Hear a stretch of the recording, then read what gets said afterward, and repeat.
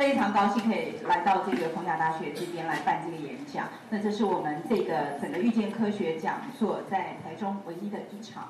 那我们非常高兴可以请到洪兰教授。洪兰教授目前是在我们中央大学任教，认知与神经科学研究所。啊呃，但是呃，可能有一些朋友知道，有些朋友不知道。其实洪兰教授大学念的是法律系，OK，后来才改念这个心理的。那我本人是洪兰教授，算是头号大粉丝。虽然我没有他的这个合照，也没有他的签名，但是我在他身上学到的，已经远远超过这一切。因为呃，洪教授给我们的影响，就是真的是让人非常的感佩。怎么说呢？如果各位是刚刚才来到这个这个现场，但是你们知道吗？这个是洪教授今天的第三场演讲。所以，一个在学术上已经有这样子的成就的一个学者，他还愿意花他这个周末假日的时间，而且全年可能超过三百场上的演讲，他的目的是什么？教育，为了我们的下一代。所以这个是我在洪教授身上学到，我觉得是最宝贵的一课。那因为演讲非常精彩，所以我想大家。呃，现在最大期望就是直接请洪教授来帮我们进行今天的演讲。那我先代表中央大学跟中国时报以及逢甲大学，谢谢大家今天的参与。好，那我现在就把时间交给我们洪教授。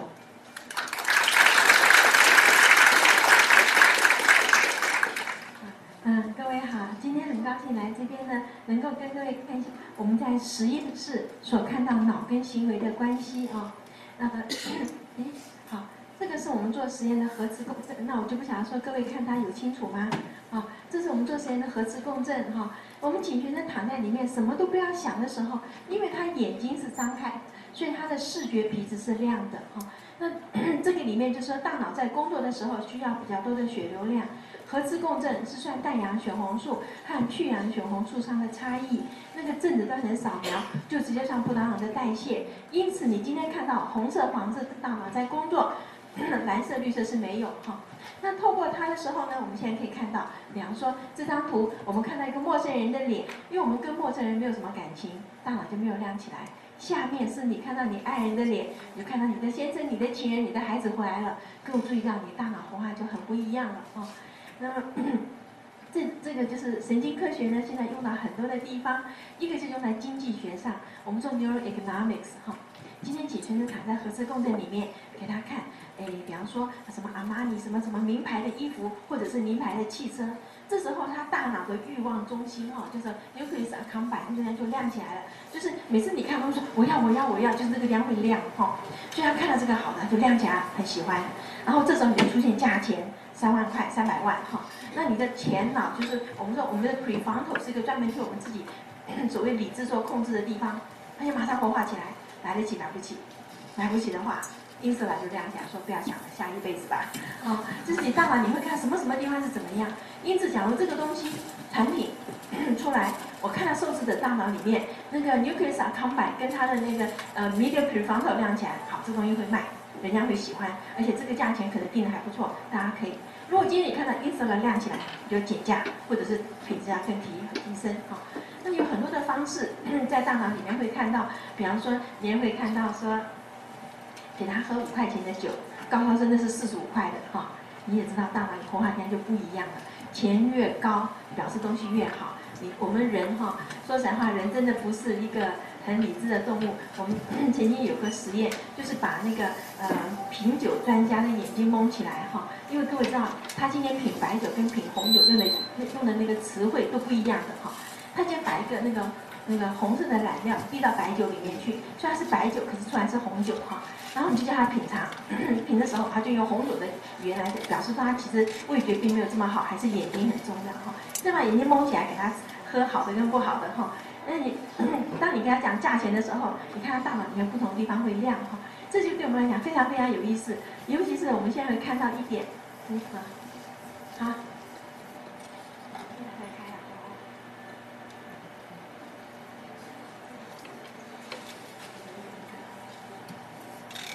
有点那断断续续，这样子。好，那那那你赶快来，这？个也是暗暗的。啊，你你有没有把它调得更亮一点？因为我后面还会有啊，因为等一下，好，好，要不要把前面灯关掉呢？好，说不定试试看哈。好，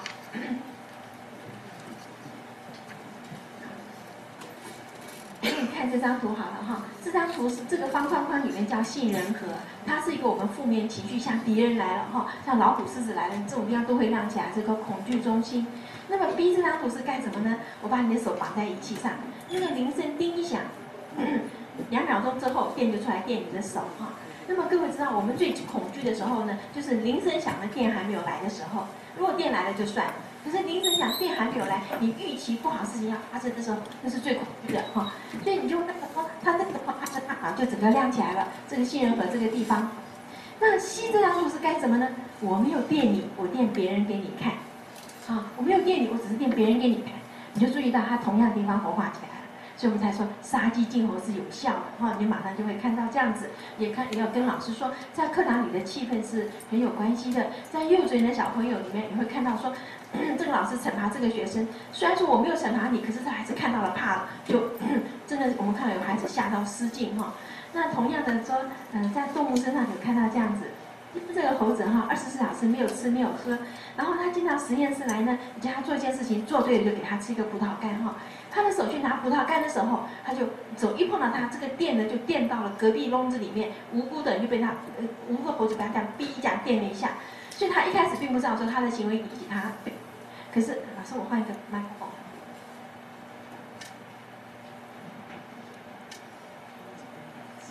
但是呢，他连续三次以后，他就知道说啊，我这边一弄，这边就叫了，对不对？好，就看到他就了解到中间的关系了哈。这个时候你会发现，这个二十四小时没有吃、没有喝的猴子，他会因为我吃而害到别人，他今天会不拿。好，这一点我们就看得很感动，人心本善。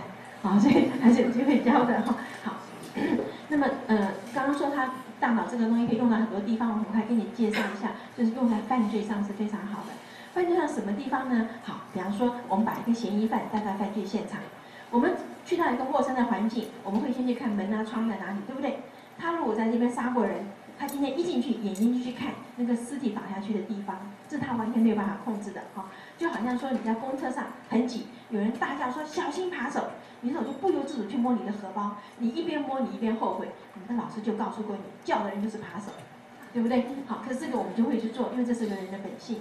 那么透过这些呢，我们就可以，比方说设计很多的方式，用大脑来看这个人是有有说谎没说谎，有没有犯罪，有没有干什么。我们大脑看到熟悉的图片，我们的 P 三百波跟没有看过是不同的。所以你今天来了个大胡子，头上包了 turban 的，你怀疑他是恐怖分子，他说他不是，那你没有办法知道是不是？很简单，脑波一戴起来哈，那个帽子戴起来，那个上面有六十四个 channel，然后呢就给他看卡达基地很特别的图片。你如果在里面受过训，这个图片对你来讲是个熟悉的图片，那大脑的波就不一样了哈。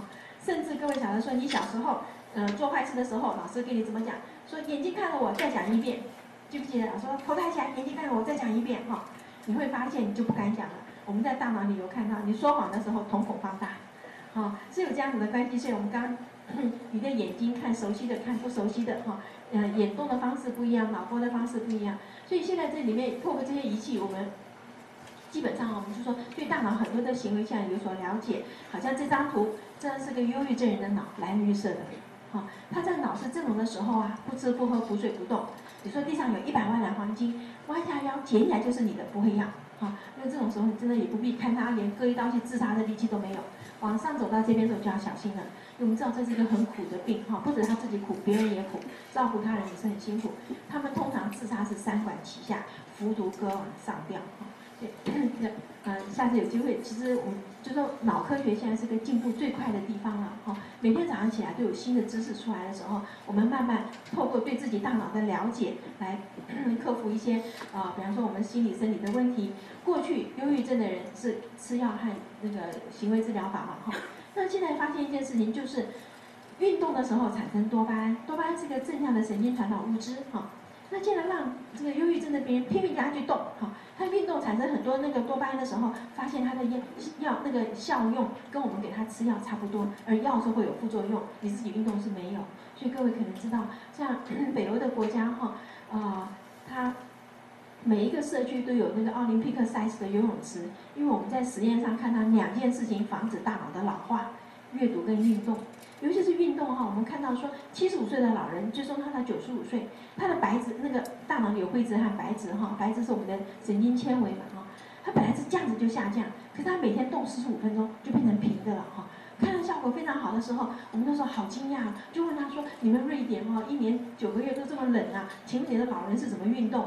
各位知道老人不好叫他去跑哈，他的膝盖软骨其实都已经开始退化了。老人用跑用走都是很危险，他摔一跤，那个什么关骨断掉什么的，就是骨折就更麻烦了。他叫他们游泳，水有浮力哈，水有浮力时候，你这个身体在动，你没有吃力，因为水有浮力。然后游泳是个全身的运动，所以我们现在已经有看到说，就是我们怎么样让预防胜于治疗。美国现在由公家出钱，把老人院的老人带到那个社区活动中间去，教他跳舞。你知道为什么叫跳舞吗？跳舞是运动嘛，哈，然后跳舞要跟人，对不对？你不能自己跳嘛，跳舞跟人，跟人怎样就会讲话，讲话很重要，因为我们讲话的时候，整个脑都动起来，就好像说我们鼓励老人家打麻将，好，那 这个很有意思啊，因为人有职业病哈，像打麻将都是眼到手到口到，眼到手到是人家打麻将，口到是什么呢？打麻将都在讲别人的闲话，哈。那就有一个那个，呃，做了四十年的高等法院的法官退休，他就看到说啊，退休我跟大脑一样在动，不然不会，我不然我会老化，会得到阿兹海默症，所以他就很紧张，马上去长青会馆去报名学打麻将哈。那因为他做了四十年的法官，他有职业病，也就是说这个牌拿到，我要从头到尾把它想得很透彻，绝对不可能放炮，我才把它打出去。所以他一张牌拿来要打五分钟，先想这个牌有谁可能会有谁有什么什么，跟他讲，讲完以后好打一张牌五分钟。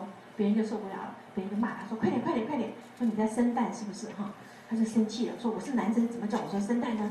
他就来问可不可以跟电脑打麻将，说可以。好，那 可是电脑打麻将呢，你的整个大脑活化的不会像你跟人这么多，为什么呢？电脑你不会跟电脑讲闲话，电脑也不会跟你讲闲话，还有电脑不会催你。适度的压力是重要的，哈，你知道我我们的表现跟我们的压力是个倒写的 U，哈。人性本来，你没有任何压力，你就什么都不做哈。这个猴子也是一样，人也是一样。可是你压力太大，你会崩溃。这个适度的压力其实是很重要。同时也跟各位讲，适度的呃挫折也是重要的哈。今天在中正纪念堂的广场看到有一个 那个老妈妈带着她的孙子哈，那孙子摔了一跤，那个孩子哭一哭，我觉得你就去叫他起来就好了嘛。那妈妈那个老那个阿妈怎样，就去拍那个地说地不乖地不乖哈。有很多老人家是这样子，这是很错误的行为耶。不是，我很想就跟他讲那是不对的哈。你怎么怪说地不乖呢？是不是？你孩子摔跤这本来就应该。那我们就看到一件事情哈。如果你孩子做什么事情，就说啊是别人错，别人错，以后你这孩子不会有前途，因为他就检讨别人，不会检讨他自己，对不对？那我们在实验上看到一件事情哈，他是做那个 squirrel monkey 哈，这个 monkey 呢，这个还没有断奶的小猴子，就每一每一个礼拜一一次哈，一个小时，把它从母亲身上带出来，放在陌生的笼子里。这个陌生笼子也是另外一组的那个 squirrel monkey，所以他是不认得的哈，尤其是小猴子，他绝对不认得这个笼子的。乖的，你一把它放进去之后，你会看那猴子是极端的恐惧，抽它的血，它身体里面的 stress hormone 是非常的高的哈。然后一个小时把它放回去，然后每个礼拜都这样子给他做，做很很十几个礼拜以后哈，等他那个饭来了以后，就把它抓出来跟他的母亲一起哈，放在一个全新的笼子里面。这时候笼子没有别人，只有他跟他妈妈，然后里面有很多的玩具，有很多的食物可以吃，还有干嘛？你就看到这个曾经被他这样子弄来弄去的哈。到了陌生环境，他敢去探索，拿到新东西敢去吃。可是那个从来没有跟母亲分离过的小猴子，把它带到同样这个笼子来的时候，就紧紧的粘在他妈妈身上。他也想去摸那个东西，可是他就叫他妈妈：“你去，你去，你去，我就顺便去摸。”哈，就变成他不敢自己去探索。那 抽他的血来看的时候呢，我们就有看到，过去被那一直这样弄到新奇的环境里面、陌生的环境里的那只猴子呢，这个时候他的 stress hormone 是降低的。也就是他一开始的时候其实是高，慢慢适应，就好像我们打预防针。我们预防针是怎样？这个 先把病毒打到你身上，呃，细菌打你身上去，然后然后你身体产生那个抗原，看着身体产生的抗体，对不对？所以我们觉得说，孩子适度的那个那个挫折其实是有必要的，不要把他那个保护的太周到。有一个妈妈跟我讲，她说我的儿子长到现在七岁，不曾摔过跤，那怎么可能呢？他说都抱着，所以不曾摔过跤，好，好。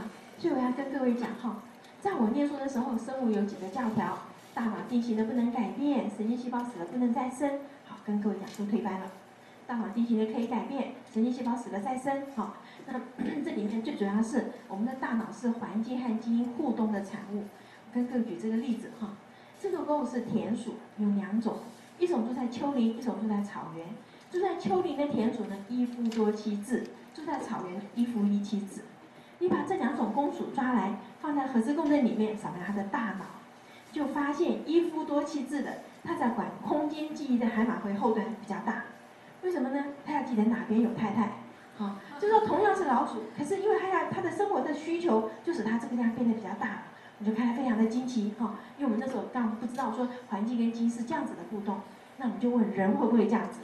会，怎么知道呢？做伦敦的计程车司机，因为伦敦是泰晤士河旁边的一个小村庄，它的发展是没有经过都市计划的，它不像纽约是棋盘式的，巴黎是方阵式的，它像我们台北的永和，这边有人住过永和就知道。那个司机不熟不敢进去，进去会出不来的，因为他是因应需求而发展。这个明明是往东走，等下就变成西了哈。那么就把伦敦开了四十五年的计程车司机跟开六个月的找来，在核磁共振里面扫描他的大脑，就发现开了四十五年的管空间地记的地方大了很多。你的你的大脑是因应外界的需求不停的在改变的哈。所以 啊，这个，sorry，我们的我们人呢不是一块粘土，任由外界去捏塑它。我们也不是一个基因的反射作用的集合，基本上大脑有很大的可塑性哈。那么 这个神经元可以再生呢，就像我们管记忆的海马回的我们所谓的 dentate gyrus 哈。因此你可以知道，人是终身学习，因为你大脑一直在改变嘛，是不是？你的学习、你的经验都会改变你的大脑，尤其是你管记忆的地方，它的神经元可以再生的时候，我们就知道那个那个外面广告说不要输在起跑点上是错误的，人生是个马拉松。我们今天让我们的孩子走到终点，他走的过程，他的耐力和他的毅力是我们在乎的。我们既然不是百米冲刺，你何必管他现在 跑得多快，对不对？所以我觉得有些观念哈，像我们今天来演讲的时候，就希望跟各位讲一下。各位先看到，我们每个人都有这四个脑叶哈，前脑、顶叶、颞叶、枕叶和小脑哈。这个前脑很重要，我们说叫它总裁脑，你的计划、策略什么什么都在这里哈。尤其是我们眼睛后面这个地方哈，叫做眼眶皮质哈，左右各有一块。那么 这块地方呢，是我们整个大脑里面最晚成熟的，基本上到二十岁才成熟。它是全世界的法律，二十岁以后你要为你的行为负责，少于二十岁酌量减轻最主要的原因。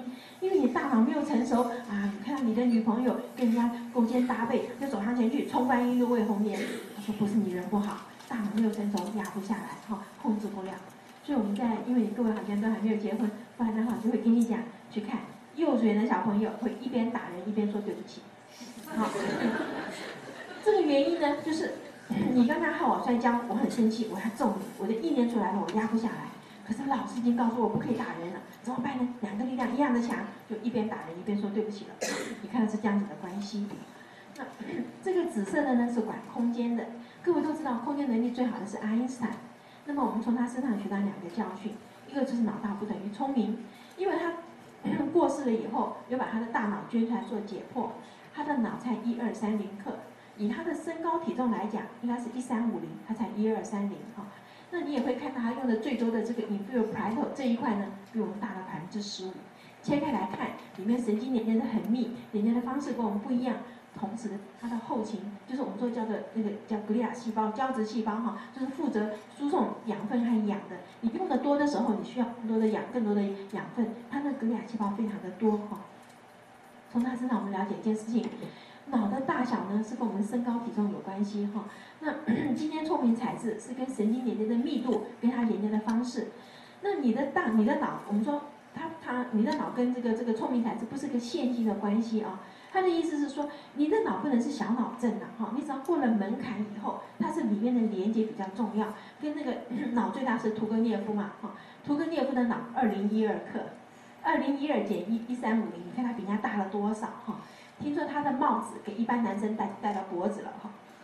那 所以你马上了解哈，我们中国人过去喜欢孩子的脑越大越好，越大越好，对不对？好，真的是错的，脑大是水脑症，没有什么好，哈。那。你就要的是连接的密度和连接的方式，这个连接的密度就跟后天那个经验就有关系了啊。那么从他身上学到另外一个教训呢，就是一个人不可能什么都好，大脑是个有限的资源嘛，哈，一块饼，对不对？空间切的多，语言少，语言多，空间就少，做不到什么都好。爱因斯坦 空间能力很好，他发明相对论的时候，一个他站在这里，另外一个他站在光速上往前走，对不对？好，可是各位知道他是语言迟缓者，哈，三岁才会叫妈妈，五岁才会说话，哈，然后 二零零五年被人家发现他是阅读障碍者。因为二零零五年是国际物理年，他那个公式从一九零五到二零零过了一百年。当时呢，全世界在庆祝爱因斯坦那个国际物理年的时候，就有个出版社花了很多的钱买到他的私人书信跟他的日记，就要请人家打字变成书去卖钱。打字的时候被人家发现这个人 B 和 D 颠倒，P 和 Q 颠倒，好没有一个字拼的对哈。那我不知道你在讲什么，一字拼错我就不知道讲什么。那不知道讲什么我怎么打字呢？打字要按页数算钱，好这里就不干。那老板讲说：“你怎么可以不干了呢？我花这么多钱，怎么可以血本无归呢？”他就一直换人，一直换人，换到最后那个人做了一张刊物表。他说：“当你看到 T O U T C H，他就是 T O U C H；当你看到什么什么，他就是什么什么。”做一张刊物表哈。那么 他很气的呢，是爱因斯坦常常出国去演讲。他在一九二二年来过我们中国的上海哈，所以他的日记里面行程表就是 itinerary 这个字出现不下一百次。他非常气的是，这一百次里面没有一次拼的相同的，好，所以我们就看说，哎呀，上个世纪这个聪明人有一个问题，是不是？我们马上了解到一件事情，爱因斯坦幸好有个好妈妈，他的母亲就看到他的孩子的长处在空间能力上，让他的孩子去发展长处。我们说，爱因斯坦如果是在我们台湾，现在还能写国字，对不对？你国字不能写，你要留级，留到最后你是中辍生，你怎么可能变成爱因斯坦？我们就马上看到一件事：过去想哪里跌倒哪里爬起来，这是错的；哪里跌倒换个地方爬起来。好，你在这边跌倒，你的能力不在这里。现在是一个多元化的社会，三百六十行，行行出状元，对不对？你去发展你的长处啊，因为你出社会以后是用你的长处去跟人家竞争，你不是用你的短处。而我们现在是叫孩子截长补短，数学不会做十题，十题不会做一百题，我们跟他说勤能补拙，愚公移山。我们忘掉一件事情。人的生命是有限的，愚公把山移掉，愚公就老了，愚公 这辈子已经过去了，对不对？所以，如果你的孩子每天在补他的短处，哈，他的补到最后，他的这个短处比不上别人的长处啊，可是他的长处没有去发展，到最后别人有饭吃，你家孩子没有饭吃。我觉得这个观念现在非常重要，任何领域玩错名堂都会有饭吃。今天只要找到孩子的长处，他有兴趣的地方，他会 seven eleven。一早爬起来，眼睛睁开到实验室去，做到十一十一点钟回家，对不对？那如果你没有兴趣，你是八点到五点把时间让卖给老板，然后呢，我们说 from hand to mouth 哈，就是这个这个工替老板工作换东西糊口嘛哈，from hand to mouth。那时候就去看这个钟，这个钟哦一定没有电池了，看到老半天都没有动一下。是不是？这时候你不可能有成就，因为人家是生日一乐的，你是八点到五点，你没有投资同样的，就没有比人家更多的时间、更多的精力，你就不可能成功了。所以我想这点是非常非常重要。我们过去很多观念哈，真的是 错了。那么现在看到了，我们就觉得说，大家，而且嗯，这个父母亲这个观念一定要改过来，尤其是哈，分数是评量的一个方式，不是唯一的方式，尤其不是一个很好的方式。在学校里考多少分其实没什么关系，你是联考那一天考多少分才有关系，对不对？去想想看，学校考一百分，联考考五十分，你不可能上台大。可是，在我们现在为什么这么在乎现在这里的这里的分数，而没有让孩子有一点时间去探索那个外面的世界？哈，我们现在碰到很多的孩子已经进到大学了，不知道他的兴趣在哪里，我觉得这是危险的事情。哈，那么刚刚有介绍说我念台大法律系，好。那个原因其实是因为我父亲是法律系的教授，我们中国人都希望孩子继承衣钵，就叫我去考。可是不忘掉一件事情哈，等我们一出国的时候，天高皇帝远，马上就改行了。那我这边呢，让各位看实验证据，为什么说大脑变形呢可以改变？这是一个左脑，这边是我们的语言中心，运动皮质区、身体感觉区、听觉皮质这边是视觉皮质，哈。那有个小女孩子先天性的白内障，家里没有钱，没有马上去开刀。等到她两岁，家里存够钱去开刀的时候，手术很成功，孩子看不见哈，因为眼睛在这里嘛，这边有白内障，光进不来，所以她这个视觉皮质呢，两年不曾接受过刺激。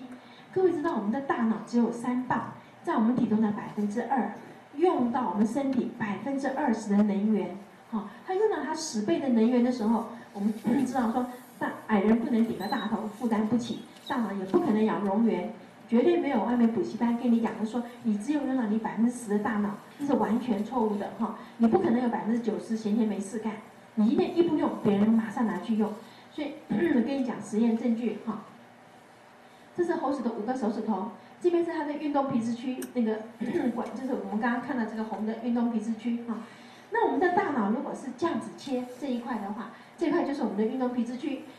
我们的手指头在大脑的位置是大拇指、食指、中指、无名指、小拇指，跟外面一模一样的排列哈。所以这个叫 brain map 嘛。所以你刚刚所看到的一呢，就是运动皮质区管大拇指的地方；二就是运动皮质区管食指的地方；三就是管中指的哈。你通通把它找到了以后，把它的中指截肢切掉，使它没有讯息进去。过了三个月，你再来照的时候，第三个指头已经被二跟四瓜分掉了。二本来这么小，现在变这么大了；四本来这样，现在变这么大。用进废退，才三个月就被人家瓜分掉了，哈，就明显的看到。那么，这个呢是二十岁的大学生，哈，二十岁，我们 suppose 大脑应该已经定型的了，哈。先到实验室来扫描他的大脑。然后呢，这样去抛接三个球，要丢到一分钟球不落地才可以停止。这要练一阵子的哈，因为我们看起来很简单，其实你去丢丢看就没有这么不容易了哈。所以他练一阵子以后，等到他一分钟球不落地的时候，把他找到实验室来扫描他的大脑，是我们的 Scan Two 哈。然后叫他回家休息三个月，不要摸这个球，再来扫描他的大脑，是 Scan Three。我们就看到已经二十岁的人呢，他的运动皮质区。会因为他在练习变大，不用又变小，好，非常清楚看到用进退退，大脑是这样子的，也就是说，我们看到林静江部长当年所讲的终身学习的神经机制，我们是终其一生不停的在 因应外界的需求改变我们里面神经的分配，哈。那么 刚刚那个神经的分配要要变动它的时候，必须要主动学习才有用，被动没有用。其实我们这边所有做老师的人都知道，今天教学哈，学生一样看着你，对不对？他的眼睛看着你时候，突然之间学生微笑起来了，你马上知道这个学生在做白日梦，对不对？所以不是说学生眼睛看着你都有用，你要把他动机引发起来才有用。而这个动机其实我们现在目前最困难的一件事情了哈。所以我跟你说哈，这个人是个电影明星，叫做 Patricia Neal，拿过金像奖。他在三十九岁的时候中风，严重的中风，各位注意到他的左脑都黑掉了哈。因此呢，他的眼睛戴着眼罩哈。嘴巴不能说话，因为的身体瘫掉。医生就跟他讲哦，你这么严重的中风，你这辈子不可能再上舞台演戏了哈。那对于演员来讲，演戏是我的生命啊，我不能上舞台演戏，我还活着干什么？尤其是刚刚拿到金像奖，在事业的巅峰这样子掉下来的时候，非常的不甘愿。他的复健是主动的复健，啊，他经过四年的复健以后，上舞台去演《欲望街车》，拿到 Emmy Award。就很惊讶了，对不对？好，中风这么厉害的人能够上舞台演戏，你竟然能够拿奖，哈，真的很惊讶。跟各位讲，眼睛坏掉是没有办法了，哈，他戴眼罩上舞台的时候把眼罩拿掉，可是平常都根本就没有办法回来的。那个我今天在你们这边 吃饭，哈，那就发现学校外面其实非常非常的嘈杂，那个扩音器叫的声音很大，哈，那院长就看到我拼命跑，哈，因为我很怕这个噪音。跟各位讲一下，哈，我们的耳朵是一个我们一生。就是全身里面最早成熟、最后离开你感官的一个一个器官，身体的一个器官哈。胚胎七个月的时候，你的孩子就听得见了，在母亲肚子里。他虽然听得不是很清楚，因为空气的传音跟水的传音不一样哈。孩子不可能在你肚子里学英文，这是不要想的哈。因为空气传音跟水传音不一样，可是他会听到那个 information，就是听到就母亲的声音，他会认得出来，那个巨量他会认得出来哈。那 他是最后离开你身体的感官呢？就是我们会看到有老人家呀，是有那种弥留状态哈，只有出的气没有进的气，瞳孔已经放大了什么什么，好，就剩最后一气一口气不肯咽，等什么呢？等他远方的孩子回来讲说，爸我来了，那个眼睛才要闭起来的，他是最后离开你身体的感官。那我们也跟学生讲哈，不管这个病人多么弥留状态，不能当他的面讲说没有救了，抬回家吧，啊，因为中国人喜欢回家就过世，对不对？你这样一讲，立刻流眼泪，听得见的。所以我这边哈跳出来跟你讲一下，等一下我回来讲这个人。我先跟你讲一下耳朵的重要性，因为这个这个人是耳朵救了他的命哈。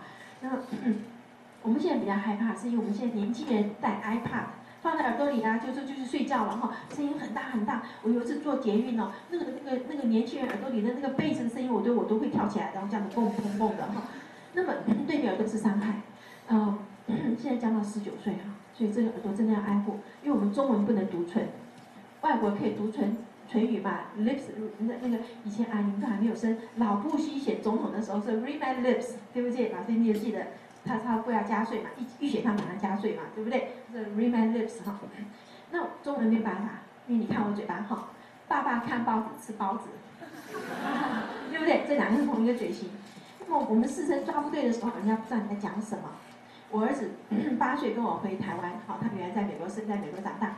那我八岁才回来的时候，他的国语那个四声讲不标准。放学回家在门口跟我讲说：“妈妈，赶快给我锅子，赶快给我锅子。”叫得很急啊，我就没有说你这个小孩子要锅子干什么？到厨房里给他个大锅子哈，就气死了。他要果汁，四声讲不标准，人家不知道他讲什么，对不对？对我们其实这个耳朵是很重要的哈。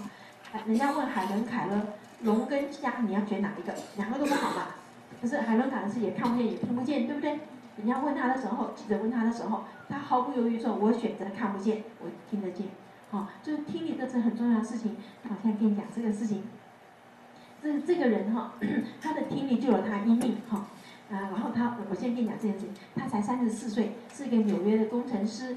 有一天呢，他要去纽约市出差，那么纽约到纽约市有两条路，一个是走上面的桥，一个是走海底隧道，哈伦他呢哈，他就选择走了海底隧道，就在那边就跟人家严重的车祸跟人家对撞，对方是马上就死掉了，他呢是因为开他的 City Benz，那个钢铁很硬哈，所以撞过来的时候他是休克，可是没有死哈。那个救护车来的时候啊，一看哇，这么严重的车祸，那对方都支离破碎了哈。人会有这种错误的观念，就是一看这么严重的车祸，想哎呀哪里还有活的人呐？所以把他拖出来的时候呢，啊瞳孔放大了，没有呼吸了，没有什么，好了，说这个医生就跟那个救护车人讲，说这个人已经死了，不要送医院，直接送殡仪馆哈。他因为是休克，不能够反应，可他听得见。他说你给我送殡仪馆，我不死被你冻死了，对不对？他就 马上用他的大脑命令他说。用全身看哪里可以动，让人家知道我还活着哈。他一路就非常清楚的命令他的大，就从大脑命令他的说看哪边可以动的时候，发现全身只有左手小拇指可以动，可是盖在白被单底下，他这样动的时候人家看不见哈。他就感觉到车子停了，被人家推出来，有人把他左脚的鞋袜脱掉了。各位知道什么？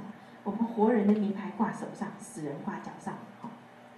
就听到个抽屉拉开的声音，有个人说：“哎，Joe，你抬头，我还讲一二三，把它扔进去哈。”哇，一听这就像判死刑啦。他说：“我才三十四岁，就这样不明不白被你冻死在这个抽屉里哈。”那 我这一路上所做的努力全部都白费了。我们也知道哈，当你很想要一个东西尽了你的全力，就老师一宣布出来，第一名不是你的时候，你会不由自主的流眼泪，这是一个你不能控制的哈。所以他讲一听到这样的时候，那我前面的学那辛苦全全功尽弃，我这一生就这样子完了哈，他眼泪就掉下来，就滴到了抬他人的手上。那尸体是不会哭的嘛，所以人一下手一赶快伸开，就白白白被他落下来，就看到尸体在流眼泪，赶快送去那个急救室打强心针就救活了哈。救活了以后呢，这个人就怎样，自愿去殡仪馆做义工。这个尸体来了呢，放在外面，等他凉了再放抽屉，最后发现发现放不凉。所以他后来就自费到那我我那时候在加州大学嘛哈，到加州大学这种大的医学院来讲说人命关天呐，你们不能随便就说这人死了怎么怎么样。那我们在底下就说哪有这种事情呢？我们觉得不相信嘛。我在台湾我碰到了哈，因为这件事情有上报纸，我可以跟你讲，没有上报纸不能讲，然后那是医疗纠纷，就是说有个八十四岁的老太太糖尿病哈，那过年的时候呢，这个大家忙着过年呢，就忘掉老太太还没有吃饭。就呢，血糖过低就休克了哈。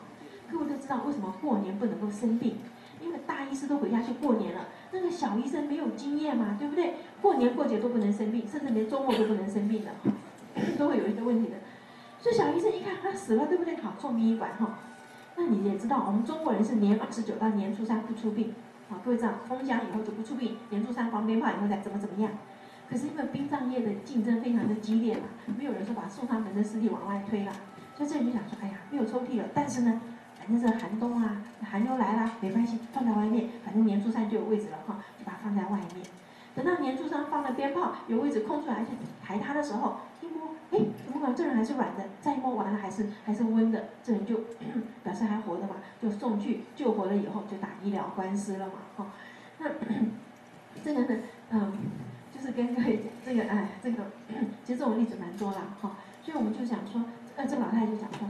他说：“我没有办法告诉你说我们没有事，你是在哭一直在哭，我就不能动啊，又有休克了，对不对？那么事实上哈，跟各位讲，我们中国人有这个 冬天呃停灵七天，夏天停灵三天，其实有道理的哈。呃，刚刚我跟你讲这个好，可是跟我们主题比较没有关系。那 个呃，英国有个农渔夫在北海打鱼的时候掉到水里面去了哈，北海的水很冷啊，所以为什么那边产龙虾嘛？水很冷。”救起来了以后呢，他人家说他溺死了，其实没有，是一下子太冷的时候休克哈。那可人家不知道说溺死了好，就把他放在棺材里了哈。因为他那时候是冬天快要过 Christmas 的时候，所以那个英国人跟我们中国人一样，家里有丧事有喜事，亲戚朋友都来的哈。来了以后呢，也跟中国人一样，都在厨房煮东西吃，因为丧事办完了要吃一顿。外面下大雪，所以孩子不能到外面去跑。可是 这么多亲戚，就是说堂兄弟姐妹都见到了，好，孩子在家里这样一直跑一直跑，对不对？那个孩子就到厨房说：“妈咪，我看到安可的眼睛在动。”我就说：“胡说胡说，安可已经死了，怎么会动？”另外一个讲说：“妈咪，我看到安可的手在动。”哈，每个人都在讲安可怎样的时候，他的母亲就把围裙拿下来，就走到客厅去看一下是怎么回事。他母亲一跨到客厅的时候，正好这个渔夫从棺材里坐起来，哈，他醒来了嘛，坐起来。哎呀，母亲一下就和他妈妈去躺了哈。这个呢，就是说，当你很冷的时候哈，你你是放到棺材里，那体那个室内的温度就慢慢慢慢加热，加热以后这里就醒来了嘛。所以这个我刚刚跟你讲说，中国人这个停灵的关系就是，万一你是休克，那你这时候就有机会醒来。夏天的天气热嘛，就三天；冬天就停七天。所以这有都以前我们祖宗的是有一些关系，只是大家不知道。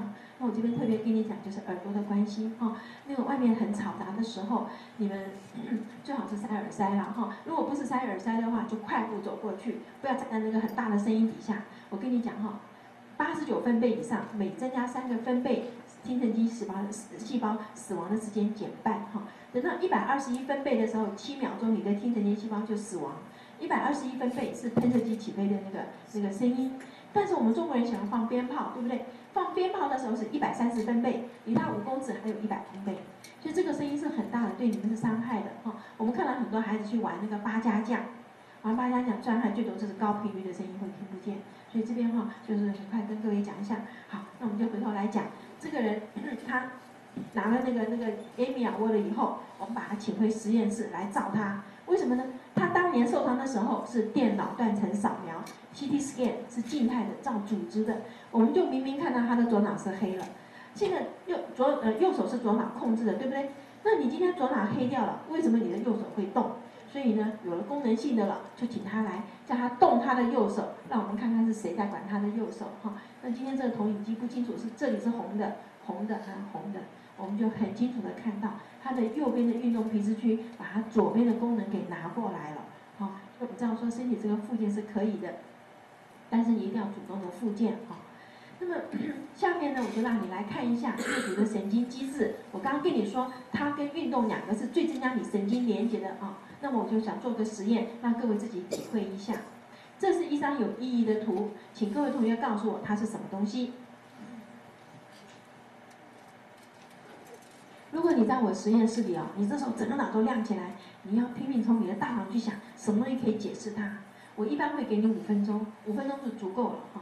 所以你一旦看到了以后，那个重点在于，隔了五年，我把你请回实验室，把这个图一放，马上看到。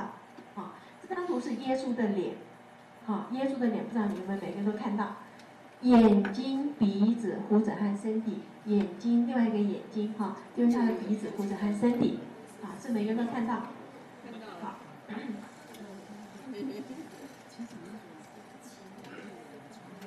一个人骑马，一个人骑马，哈，好，帽子披风，马的尾巴，后脚、前脚马头，好，一个人骑马，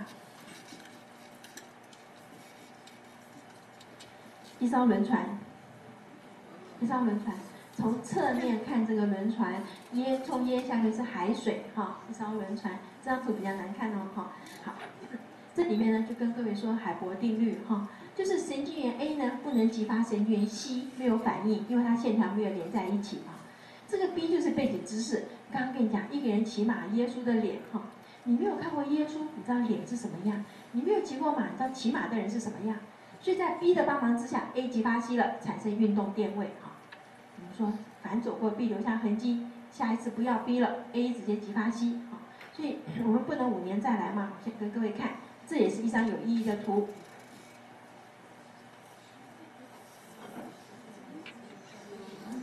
好，看到了以后，我们把它退回去。你看它比第一次容易很多了，曾经走过一次了。这是为什么？你坐人家的汽车去餐馆，坐三次不能的路，自己开车一次就可以哈。可是自己开车自己要经验的话，要靠时间去换取。我们刚刚讲过，人的生命有限，你怎么用有限的生命去学无限的东西呢？这时候你要阅读，把前人的经验内化成你的哈。我们这个实验很重要，让你看到我们对于外界讯息的解释，完全是后天认知的解释哈。我们请学生念，他就念十二、十三、十四。像各位把眼睛放这边，我来变它。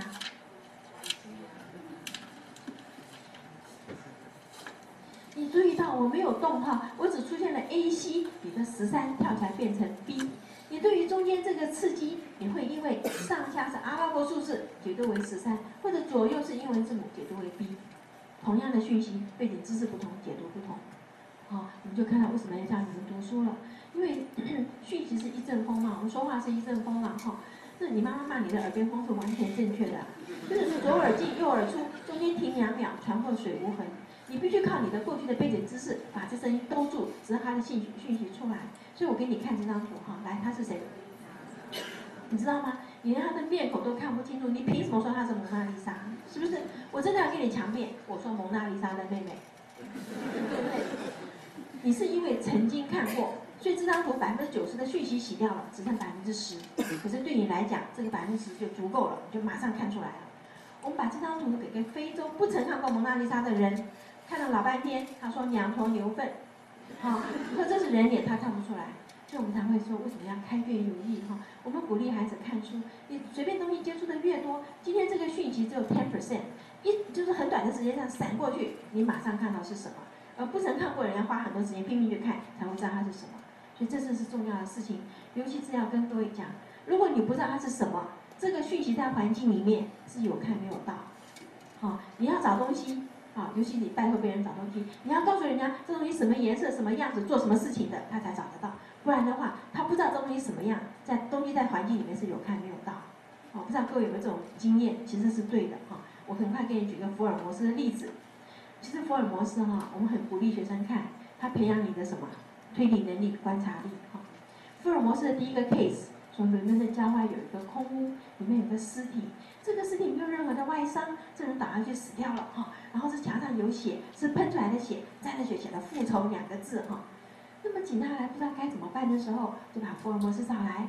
福尔摩斯跟华生就在命案现场走一圈，走完以后，福尔摩斯就跟警察说：凶手六尺高，脸很红，左手的，左手指甲很长，他穿方头的鞋子，大约四十多岁。好。那警察听了都好惊讶，下巴都差点掉下来了。心里想说：你们不是目击者，怎么知道人家多少岁？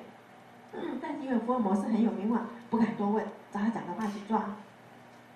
抓到以后，真的跟福尔摩斯讲的一模一样。这个华生是人家都抓到了，不知道人家怎么抓得到的哈。可是各位知道，华生也不是傻瓜，华生是军医，对不对？他是个退休的医生。你只能说，因为华生的背景知识跟福尔摩斯不同而已，他不是傻瓜的哈，不是笨蛋的哈。那所以。那个人家都抓到福尔华生不知道怎么的时候，他只好等啊，等到福尔摩斯破了案，心情好，晚上在火炉前面抽烟斗的时候，他就问他说：“你怎么知道的？”各位同学都晓得，书的最后一段最好看哈。福尔摩斯说：“你看，我们人手抬起来写字，是不是跟眼睛一样高？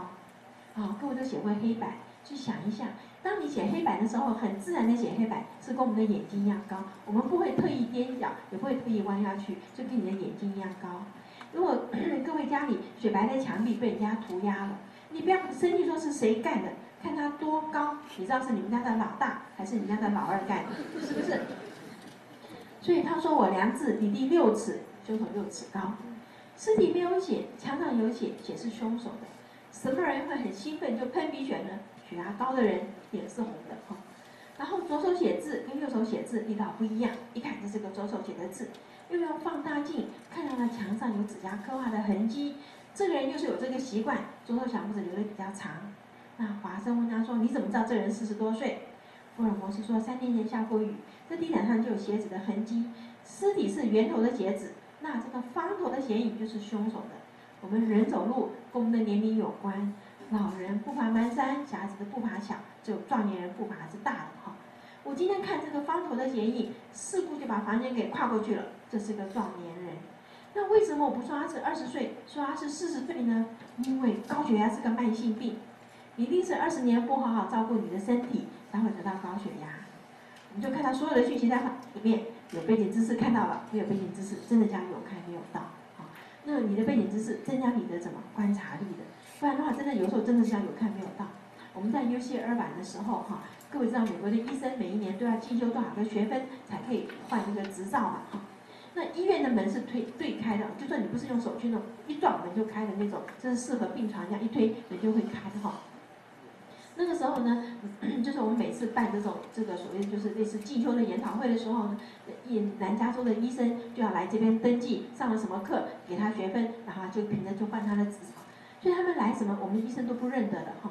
那我们就有个同学啊，他就半夜一直坐在那个门的门口，有人进来说，来来来赌赌这个人内科外科哈，赌的钱也不多，只赌一块钱美金。那么内科外科呢，人家都觉得五十五十的几率嘛，对不对？内科外科很多人就跟他赌哈，他没赌必赢。就说我们都要去打工，他不要，他凭这个就吃一个礼拜哈。后来他毕业了，他就要走的时候，他告诉我他怎么知道的啊？他说你知道，江山易改，本性难移，对不对？人都有职业病嘛哈。他说外科医生洗过手以后就抱胸，外科医外科的水龙头是用脚去踩的哈，洗过以后手就等于说 scrub 到那个 elbow 的地方，然后就不动了哈。你做什么事手都不能动，就是干净的这样子抱胸了哈。他说内科呢是用手去检查的，对不对？说今天这个人进来，他用 elbow 去开门，用脚去踢门，这人是外科，对不对？他的职业病嘛，就我的手是不动，这样子我用脚，好，这是外科。他说用手去推的那是内科，好，各位下次去看一下哈，台大医院的那个门也是这样子，一撞就开的，我们就稍微看一下，你这个职业病就非常显著了哈。那我们也一天到晚看来看去啊，但是因为你没有这背景知识，也没有看到。那电影要完的时候，哈，每次电影不是一卷一卷吗？他要换新的那个那个那个片子的时候，各位注意到在右手边上面有那个圆圈，好，这是一定有的。你你我们我不讲你是没有知道，可是你现在去看哈，你下次看电影的时候你会看到，看看看的时候，他要换一卷新的时候，他是开始有这么大的圆慢慢变小，啊，就是时间快要到了，哈，那那还有多少秒的的意思？所以他就赶快准备下一遍下一个那个那个那个片子准备好，然后把它放上去。所以我们很多东西是。你知道了就看得见，你不知道有看没有见，所以跟各位 同学讲，有空多看书。你真的是看了书以后，你下次吸取讯息会比别人快。同样是听演讲哈，各位知道李远在刚回来的时候，有从国科会一百万请一个人呢到台湾来。哎呀，我们那时候所有的学生呢，有老师开车送的学生去听演讲，回来还在写报告，就发现有人听百分之八十，有人听百分之二十，那个差别就在于说什么背景知识。所以我们后来就把学生，就说你，比方说某某人要来演讲，在前一个礼拜，先把这人的课本拿出来分配给学生看，看还没有用，上台来报告。好，报告过的人你去听就听到百分之八十了，这是有这样子差别，背景知识是很重要的哈。那么，嗯，好，那下面呢，我就要跟你讲一下说，嗯，我们刚说阅读跟 这个看电视哈，阅读可以防止阿兹海默症哈，我跟你讲一下为什么。一开始的时候是意大利做了一个研究哈。他说：“你只要读过五年的书，五年制小学都没有毕业哈，你的阿兹海默症的几率比文盲少十四倍，因为十四是个很高的倍数啊。所以他报告一出来，马上被人家挑战，说你的老人是家居老人呢，还是安养院老人？他说家居老人，那就是我们自己的父母。可是我们知道，我们自己的父母绝对不缺少讯息的输入。老人早上起来第一件事开电视，哪怕他不看，声音都在那边放着。然后呢，中午就端个碗在电视机前面吃饭。”吃完了，在电视机前面睡觉。如果你走过去说：“哎呀，阿公睡着了，给他关掉，马上起来。”好，就是说他每天这个影像跟声音都没有少，他只是不会看书。所以我们今天要问：阅读跟看电视有什么差别？为什么会造成这样子的不同？哈，那么这是一个很简单的实验，做了一百个阳明大学的学生，请他尽快的判断这个字是不是名词。哈，那那么这些字全部都是名词嘛，所以各位一看就想说，频率我都控制，你都认得这些字，照讲它的反应时间应该全部一样，因为都是名词嘛，没有什么理由不一样哈。可是做完了以后呢，就发现茶壶的反应时间比骑楼快，骑楼比房租快，房租比通告快。你问他为什么，他都不知道。他说你叫我尽快回答，我就尽快回答了。可是我们是知道的啊，这个茶壶呢是名词名词构成的名词，这个骑楼的骑是动词，房租的租是动词，这边是我们中文的特殊性，两个动词放在一起会变成名词。也就是说，我只问你是不是名词。可是你的反应时间受到了构成它的词性的影响，就慢下来了。你的大脑有处理，你自己不知道而已。好，这我们在生活里有很多这样子的例子。哎，糟糕，到哪里去了？嗯，好，因为 我要给你看，就是好，我先给你举这样的例子哈，因为我们就不讲实验了哈。你晚上在家里看电视的时候，有人打电话给你了，你通常没有把电话关掉，对不对？就一个眼睛看电视，一个耳朵接电话，这个时候你会说错话。会把电视上的字抓起来，看到你要讲的话，你就说错，对不对？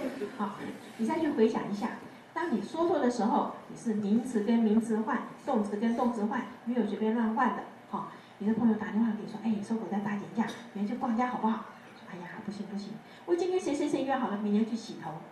如果电视上拿出来的是吕秀莲宴请五院院长，说不行不行，我已经跟吕秀莲约好去洗头。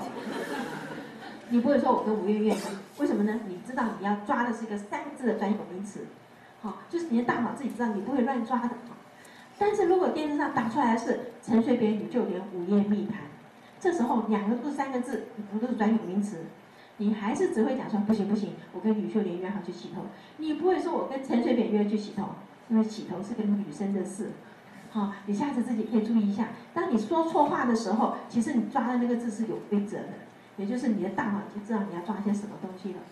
我刚本来要给你看那个实验，就是我们会看到说，大脑在接触这个字的一刹那，这个字所有的的我们说 component 哈，就是一旁、身旁，它的什么什么全部被分解出来，你马上做 decompose 哈。那么另外一个很就是我们神经是怎样呢？就是我们说叫做骨牌反应哈。第一张骨牌倒下来是第二张倒，第二张是第三张倒下，嘚儿，就凡是有连的，通通会活化起来。而且呢，我们的神经回路是启动了以后不能自己关掉，像一个那个那个灌溉的沟渠一样，水闸门一开，好，水就流下来了。任何跟它有关的都会流下去，就但你水没有了就自己停掉，你不能中间把它弄断。这是为什么忧郁症的人，人家说不要这样想啊，没有用啊，他曾经已经启动了，非得钻牛角尖，钻到里面去就出不来了哈，有这样子的关系。所以我们在生活上也有这种例子哈，呃，我相信你们一定有。就是在市场碰到小学同学，人家叫你啊，哎呀，糟了，你不记得他叫什么名字，你记得他坐哪个位置上的哈？我们一般是人家叫得出你的名字，你没有这个勇气说真是对不起，我就忘了你是谁了哈。有的人是假装认得，他说，哎呀，好久不见啊，你好吗？在哪里高就啊？你一边寒暄一边在想说，这个人是谁呀？是不是？你会发现哦，如果在五分钟之内没有想到他是谁，你会胆怯。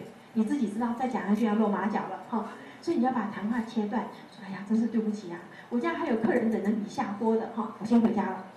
回到家，事过境迁，不想了，对不对？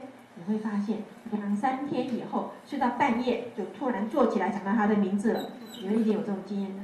为什么会这样子呢？就是当场在市场的时候，你所有的神经元、你的 search engine、你的 Google 都在动，打出来帮忙想他是谁哈。因为神经回路活化需要时间。你没有给你自己时间啊，你害怕啊，你关掉，对不对？那市场也是你是关不掉的。你回家做别的事情了，它已经启动了，在底下走。我们生活里面跟很多有很多跟我们童年有关的嘛。它这个名字得到足够的音符，就是一个一个传一个，一个传的，最后超越临界点就出来了，是不是？所以我们在实验上很清楚的看到，我们用眼动仪来测哈，小孩子读书 眼睛过去了哈，可他刚刚看到那个字，比方说是光。就马上激发一连串的神经回路，光明、光亮、光棍，哈！各位当然知道，光棍不是光的棍子，就像风流不是风在流嘛，所以他今天光明、光亮、光亮这样子成语组合词这样往这边走的时候，这个光棍就会马上激发跟光棍有关，可是跟光明没关的，比方说王老五结婚、媒婆、丈母娘什么，跟这样子的东西出来。那么媒婆在我的年龄想到大婶婆，大婶婆想到刘星星。你从光明光亮到流星星的时候，这就是我们所谓的触类旁通、举一反三。各位马上看到为什么阅读跟创造力同一个神经机制？所以我们才会讲说，一个有创造力的人不是最聪明的人，他是最资源最多的人，就是他的阅读很广，懂得把这些东西拿综合起来。就是两个不相干的神经回路碰在一起，活化了第三条回路，就是我们所谓的创造力。所以你真的看到说阅读有这样子的关系，我们才拼命拼命在推阅读哈。那我也跟你讲一下，你为什么会记得这个同学坐哪个位置上？你不记得他叫什么名字哈？各位同学应该有这种经验，考填空题的时候，你不知道答案是什么，记得他的书的右下角。这个原因就是，凡是跟我们生命有关的，都不花你的力气哈。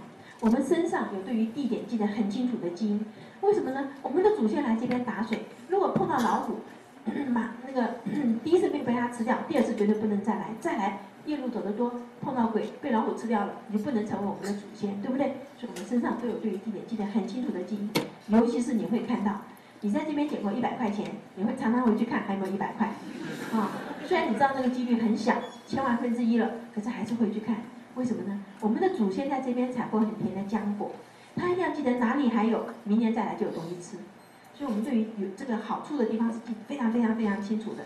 我在念法律系的时候，我们老师说哈，你们一生都不可以有任何的把柄落在别人手上。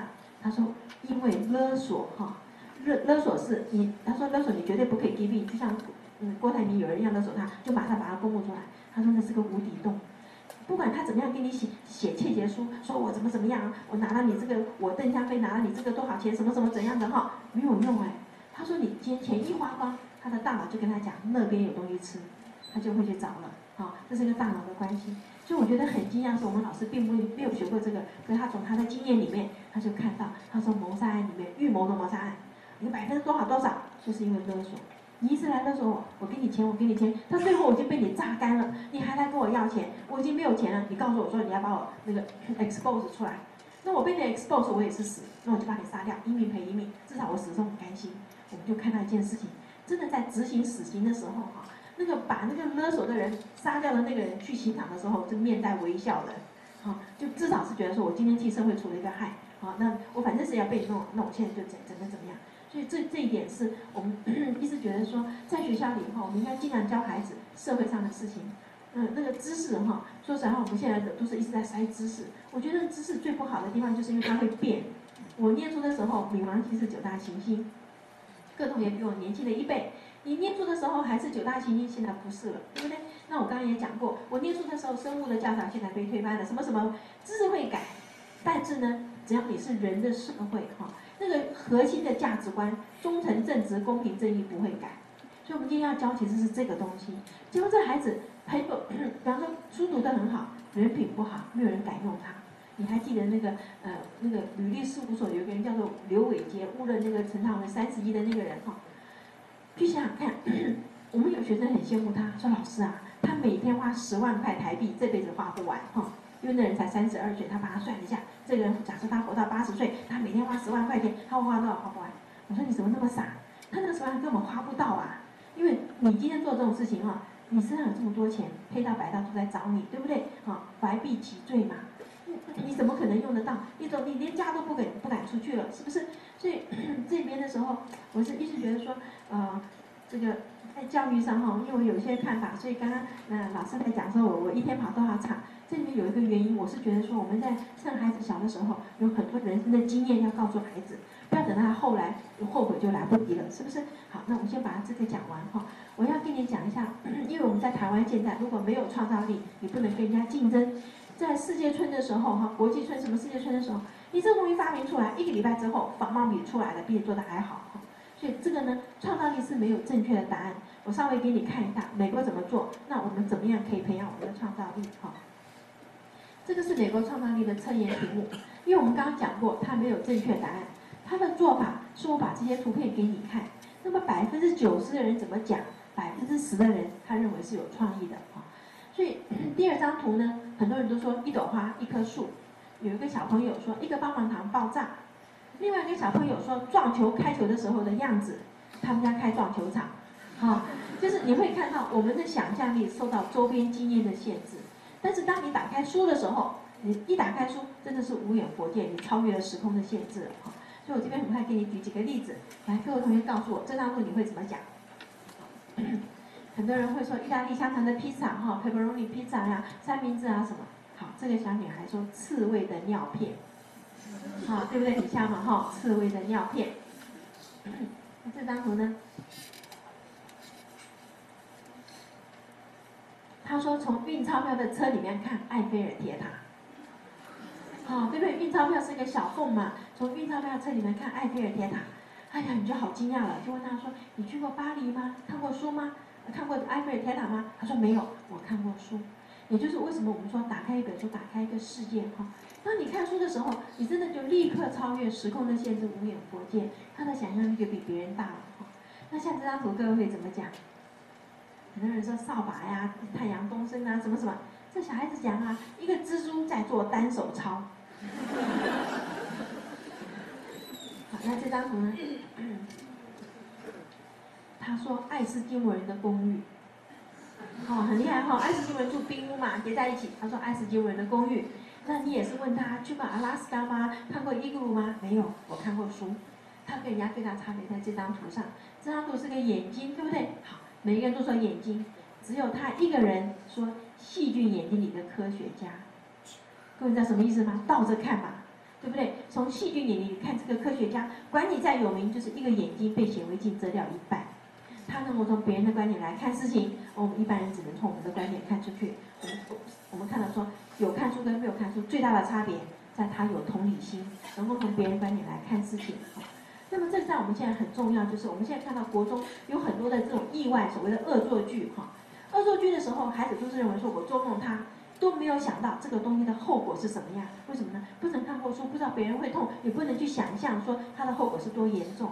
各位一定记得，四年前有一个孩子把剪刀放在人家的椅子上，记不记得？人家一坐下去，剪刀没入直肠，这孩子现在做做人工肛门。另外就是把人家椅子拉开来，啊，腰受伤有没有？还有一个是什么？最近发生的，用弹弓石头去打鸟，哈，我本来就好生气，干好鸟，好好的干嘛去打它呢？他技术又不好，鸟没有打到，把站在树后面同学的眼球打出来，好，现在这个孩子现在在苏田医院里面嘛，哈，那你就看到这些这些孩子都吓得半死，说，哎呀，老师，我不是故意的，我是只是要吓他，我只是要恶作剧，我只是要干什么？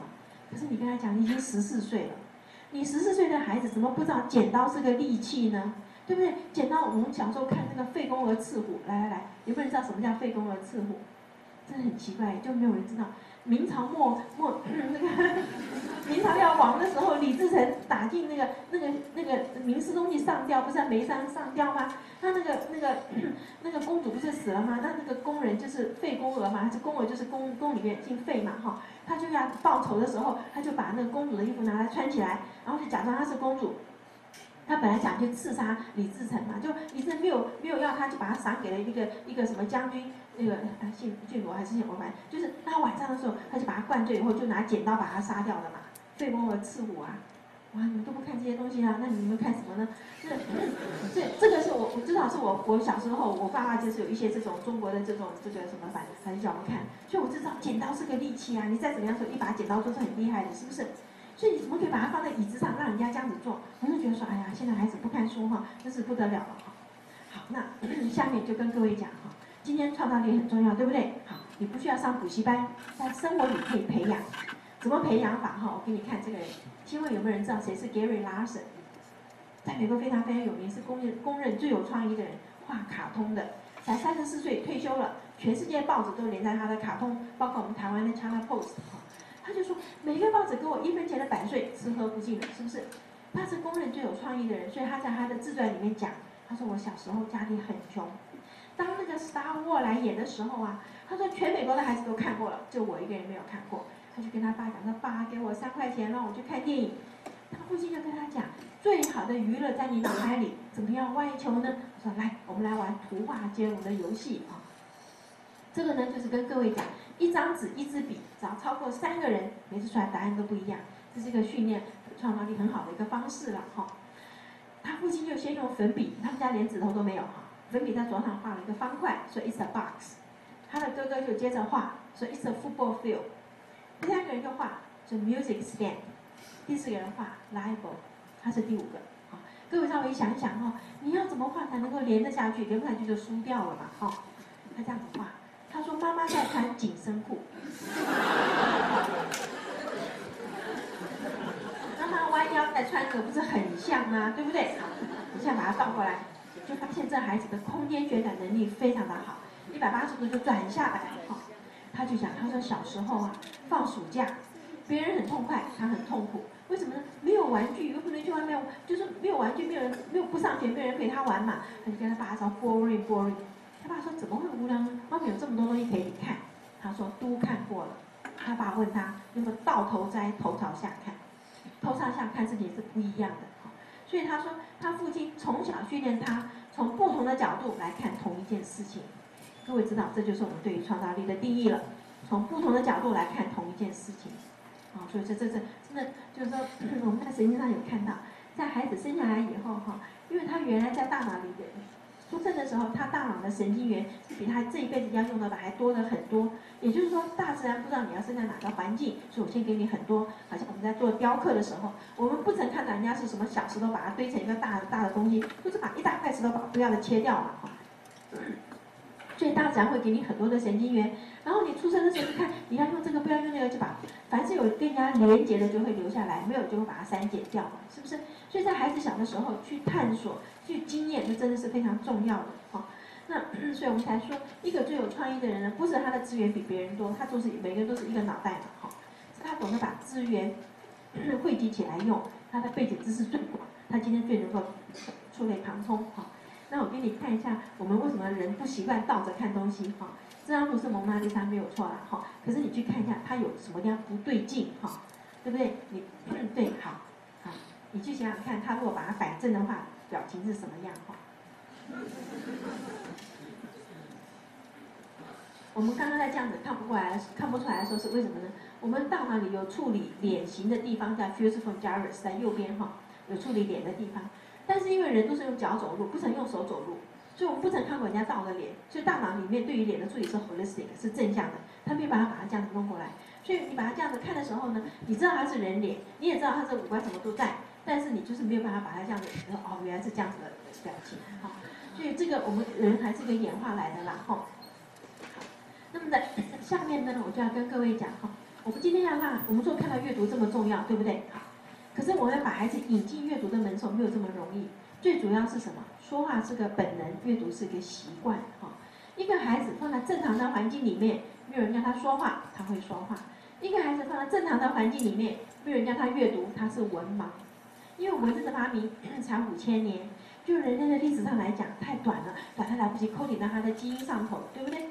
所以那个呃，大脑里面有语言中心，说话的 language center，好，在我们的左脑前区。大脑里面没有阅读中心，我们经常阅读的时候，真的叫个 miracle。你是很多地方这样子抓起来，共同起来才可以变成，就说以后呢，呃，视觉皮质进来，透过那个 vertical 的 area 到什么地方到什么地方，这样子整个好，最后你会阅读。它并没有一个 center 的时候，就在这边大家来处理，因为阅读时间太短了哈。所以它如果是一个习惯，不是一个本能的时候，像李光耀讲的，那你就要从小训练了哈。李光耀讲说，在二十一世纪。新加坡的人要跟人家竞争，他要有两个能力，一个是快速吸取讯息的能力，要阅读，眼睛看字，一分钟看六百六十八，耳朵说耳朵听话，哈，各位知道眼睛看字是平行处理，耳朵听话是序列性 sequential，那个字和字中间还得有个空白，如果没有空白的话，字揪在一起，你不知道我在讲什么。像我来讲，我还希望能够讲得更快一点，因为今天东西很多，可是我知道我可能讲到这边就是你耳朵的极限。好你当然听我讲话久一点以后，你会练习。可是，在现在目前来讲，我不能再讲得更快了。那我们我讲这么快，两百五十个字，所以讲话只有呃眼睛看字的三分之一。好，更何况一般人讲得更慢。我现在一分钟讲一百六十五，那个陈水扁才讲一百三，好，讲的是很慢的。可是我们 眼睛看着就看很快，所以李光耀讲，在在二十一世纪，你要有快速吸取讯息的能力，要新加坡的国民阅读。第二个。正确表达自己意思的能力，这个是我们现在非常需要训练的。好，所以在把那个孩子带进阅读的门的时候，我们要花一些功夫，因为它不是一个自然的事情。在花功夫的时候，你就马上看到从动机着手。我们必须知道男生女生喜欢什么东西，从他才会有效。先跟各位看，这是男生的脑，说话左脑前区亮起来；这是女生的脑，说话两边。这个功能上的差异来自于结构上的不同。这个叫扁直体哈，corpus callosum，连接两个脑半球的百万以上的纤维素，女生厚，男生薄，肉眼看到差异了，哈。那我们就知道说，情绪在右边，语言在左边。当我的桥很大的时候，我左到右，右到左，我可以跑得很快。我们会真的看到，女生比较会把她的情绪用语言的方式表达出来。我们看到先生太太吵架，先生讲一个字，太太讲十个字，啊，先生讲说你你你你你，你看这边说的话全部讲完了。所以在实验上呢，有看到女生听力比较敏锐，对痛比较敏感，对痛的忍受度比较强。所以外国有一句话。说这个世界上靠男生来生小孩，地球没有人类哈。然后女生呢，对于人脸上的表情的辨识比男生快，快了千分之二十秒。就说你一说说话，女生就看到了，不要再讲了，她生气了。男生是你都气到要拍桌子了，他不知道你干嘛要生气哈。那我们在实验上有很清楚的看到，同样的情绪图片给男生看看，女生看，同时扫描他的大脑，就发现，比方说负面情绪图片哈，男生在这个右边的 amygdala 会亮起来。女生在左边，而且呢，血流量什么都不太一样。你会看到男生比较看到是整体，女生看到是细节。所以你会看到一件事情，很多夫妻的吵架其实可以避免的。假如你知道是怎么回事的话，就不要去生气了哈。因为我们看到很多女生有话不直讲，用这个拐弯抹角、用暗示的方法。明明是结婚纪念日快要到了，他就觉得说，我替你做了一年的免费老妈子，你明天要带我去看电影上馆子，你要怎么怎么怎么来慰劳我哈。他就不把话讲出来，他就把结婚戒指。放在这里，放在这里，放在这里，就希望先生走过去看到结婚戒指，就联想到结婚那一天。他想说，哦，快要到了，哦，再来怎么怎么样啊？他就没有想到，他先生说，哎，你怎么搞的？结婚戒指乱放，对不对？所以我们现在看到这样子的时候，们说，你不要写小条子，什么贴在什么床头柜上，那是看不见的。要大大的条子贴在冰箱头上，说明天结婚纪念日，一订餐厅，二买鲜花。那么我们看到最显著的差异呢，其实在小孩子的时候啊，各位注意到，你幼稚园的美眉用红色、黄色非常鲜艳的颜色画苹果、房子、妈妈、洋娃娃画名词；你们家的儿子用黑色或咖啡色画汽车相撞、小人打架、火箭上月球画动词啊，就是女生画名词，男生画动词，你会看到这个。然后你也会看到男生女生玩的玩具不同。我们过去认为是社会制约。后来耶鲁大学把男生和女生的玩具通通丢到猴子笼里面，猴子是没有文化的，猴子爸爸讲他儿子你是公猴，不要跟我摸这个哈，他就一样观察到公猴玩男生的玩具，母猴玩女生的玩具，然后母猴会玩公猴的玩具，公猴不会去玩母猴的玩具。你们家的妹妹玩她哥哥的汽车，你们家的儿子很少摸他妹妹的洋娃娃，你会看到这样子，所以我们就知道说他不是后天是先天，那么先天从哪里去找呢？刚刚讲过，颜色不同，我们就到视网膜来看哈。我们的视网膜有两种感受体，一个是锥细胞，一个是干细胞，一个是控，一个是 rod 哈。锥细胞是处理颜色的，集中在中央小窝的附近。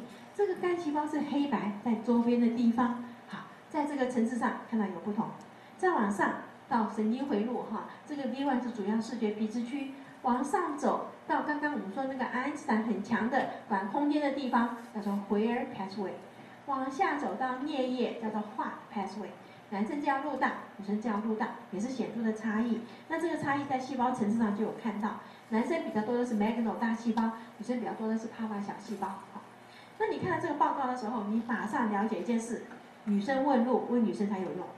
你问男生，他也告诉你了，有听没有懂，白费力气。啊，女生会给你用的是颜色和地标。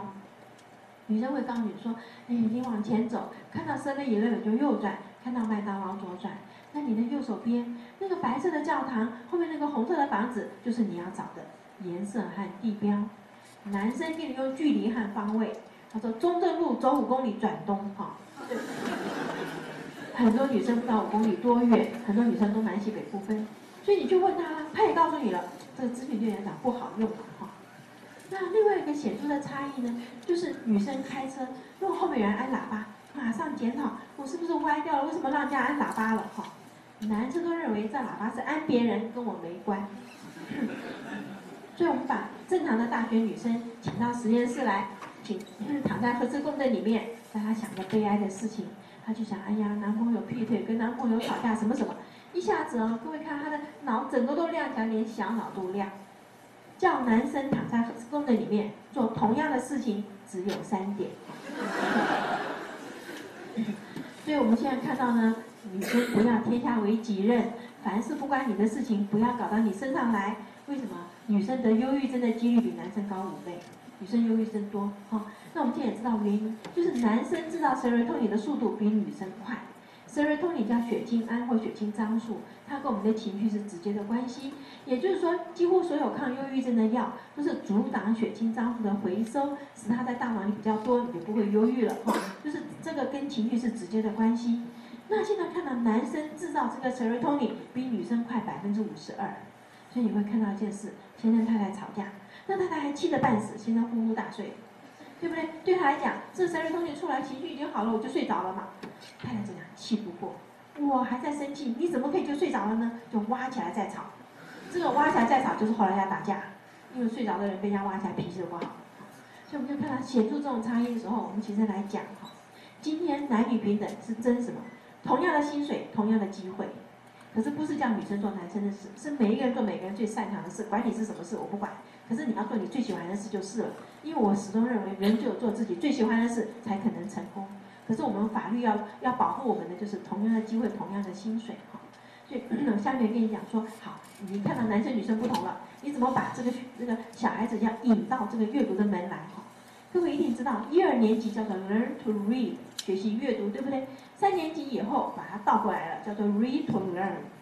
Learn to read 和 read to learn 只是一个字的倒过来，它的意思完全不同的。他说小孩子的时候，我要引诱你进来，对不对？好，我今天用绘本童话，字很少，图片很多。任何人拿到这个图图画书，就凭着我的经验来讲个故事，什么什么，孩子最喜欢听故事的，对不对？好，你把它引进来，好。三年级以后，他说已经有了阅读的能力啦。前面两年在学这个了嘛，现在书本没有图片了。你要把阅读当做工具，打开人类知识的门的，所以它变成 read to learn，这倒过来意思真的完全不同的哈。所以在美国的时候，你会发现，一二年级的时候啊，随便你要看什么书，老师让你自己去看，因为我要把你引进来，要让你养成开开开看书的习惯。可是三年级以后，他们就开始有些经典的书你一定要看，你要怎么怎么样，老师就要想办法来引诱孩子进到 这个阅读的里面去了哈。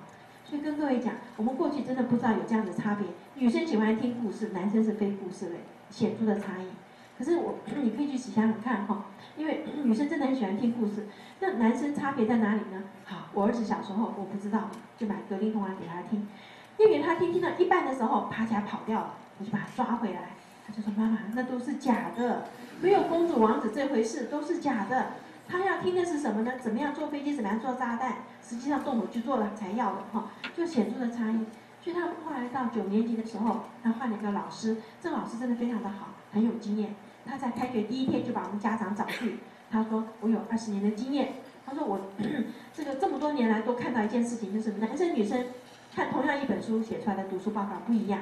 他说女生呢会 A4 的两张纸 single space 密密麻麻说哎呀他们要看那本书是苍蝇王 log fly 哈这边同学一定看过。他说他们就会写啊说这 他们到荒岛啦怎么办呢？这辈子看不见妈妈了我的衣服都破了我现在什么什么东西啊什么就写了一大堆他的心情他的感受他的。他说同样故事给男生写半张纸。一群小朋友坐飞机去哪里？飞机失事他们到荒岛都死光了啊 就没有所以。他说，为了要使男生把书看进去，他今天出的作业是不同的，所以他叫我们回来不要疑心，说，哎，老师偏心啊，对谁比较好，对谁不好。他说没有，我说我看依他的这种那个就是脾气性哈，呃，我们说因材施教嘛哈，出不同的作业哈。我后来看的时候真的有这样子，第一个，我的确看到我的他们一学期看十四本书哈，社会课看十四本书，就是每个宗教每个种族看两本书哈。所以今天拿到这个这个书的时候呢，我就看到我儿子先去看主角是谁。看到后面去看死了没有哈？如果说死了，哎，就这就好看了，对不对？如果没有死的话，哎呀，就看不下去了。那时候他们要看那个小妇人 Little Women，我想我们女生都觉得好看的不得了，对不对？我们看都看不下去。他说：“妈妈，四个女生，等下妈妈五个女生，从头到尾什么事都没做。”所以他的心情跟我们女生真的是很不一样。所以 那天，嗯，就是要读 Love Fly 那天的时候啊。放学回家，好高兴哦！跟我讲到妈妈，我们老师对女生不好，他们也写读书报告，我们不要，我们只要做个倒的模型交进去就好了啊，得意的不得了。因为老师已经跟我们讲过，所以我们说预防针先打。如果没有的话，家长都跳起来，哎，为什么这样子哈？重男轻女什么什么就会讲一大堆话了哈。他先讲过，好，我们就来观察。他们班四个男生到我们家来，啊，要做这个 project。为什么四个男生呢？老师说，你们出社会以后是团队的社会，现在是团队的社会，对不对？他们从五年级开始，所有的 project 都是抽签，而且不是规定，不能够说每次都跟谁抽签，全班人都要跟他一试着跟不同的人一起合作。那美国的孩子都没有什么叫面子问题，一抽，老师我不要跟他，上次都是我在做，他在看，好，分出来给他，我不要。老师说不可以，你出社会以后不能挑你的同事，不能挑你的老板。各位想想看，我们不能挑我们的同事啊。我们老板说不定还可以，就是老我就不干了嘛，对不对？你不能挑你同事的时候，那这时候老师说，教育为学生出社会做准备。今天 你越不喜欢他，对不对？我越让你跟他同一组，要跟他到最后，你能够跟你不喜欢的人一起共事，我才让你换别人。所以我儿子很早就学会，不喜欢谁绝对不可以讲，一讲这辈子就跟他了。他们就四个男生到我们家来呀，好。把我们泡茶的茶盘拿出来，把一点卫生纸丢到水里面去，捞起来要做导灯模型了。这个时候发现书上没有地图，好就要看书了哈。孩子也很精，这本书两百页，当然每个都看？除以四，每个看五十页就好。可他看的时候就很仔细，他不能够像过去随便翻过去，因为你要画坐标。画坐标是要动脑筋的哦。早上起来去哪里找什么东西？太阳照，太阳从东边出来，我的影子是朝哪里的？啊，怎么怎么样？要画的很，要看得很仔细，一边看书一边在那画。这个东西可能在哪里？可能在哪里？哈，这样子。都看完了以后，四个人聚在一起要定那个位置了。这时候发现有矛盾的地方了，因为这本书又不是给你做地图的，对不对？作者写到后面去忘了前面讲什么了，就有矛盾的地方。那在前面说的，然后他说不是不是，我看的不是这样子。前面要去看后面的，后面要去看前面的，他们来来回回看了三遍，才把这个地点决定下来。可是很奇怪是，交进去以后还是很高兴，老师对我比较好，没有叫我看书。好，所以我们说，今天你把学生带到这个地步，高招，为什么呢？他不知不觉把这本书全部看进去了，尤其是隔了十一年，他现在二十五岁了，在美国念博士了。我有一天在心血来潮打电话问他，说：“敏中啊，你还记得什么什么？”啊，他的第一个反应是呀，我不喜欢这本书，在我本来去里面的细节，通通都记得，因为经过脑筋的仔细去思考过的，啊。所以我们说，没有不可教的孩子就在这里。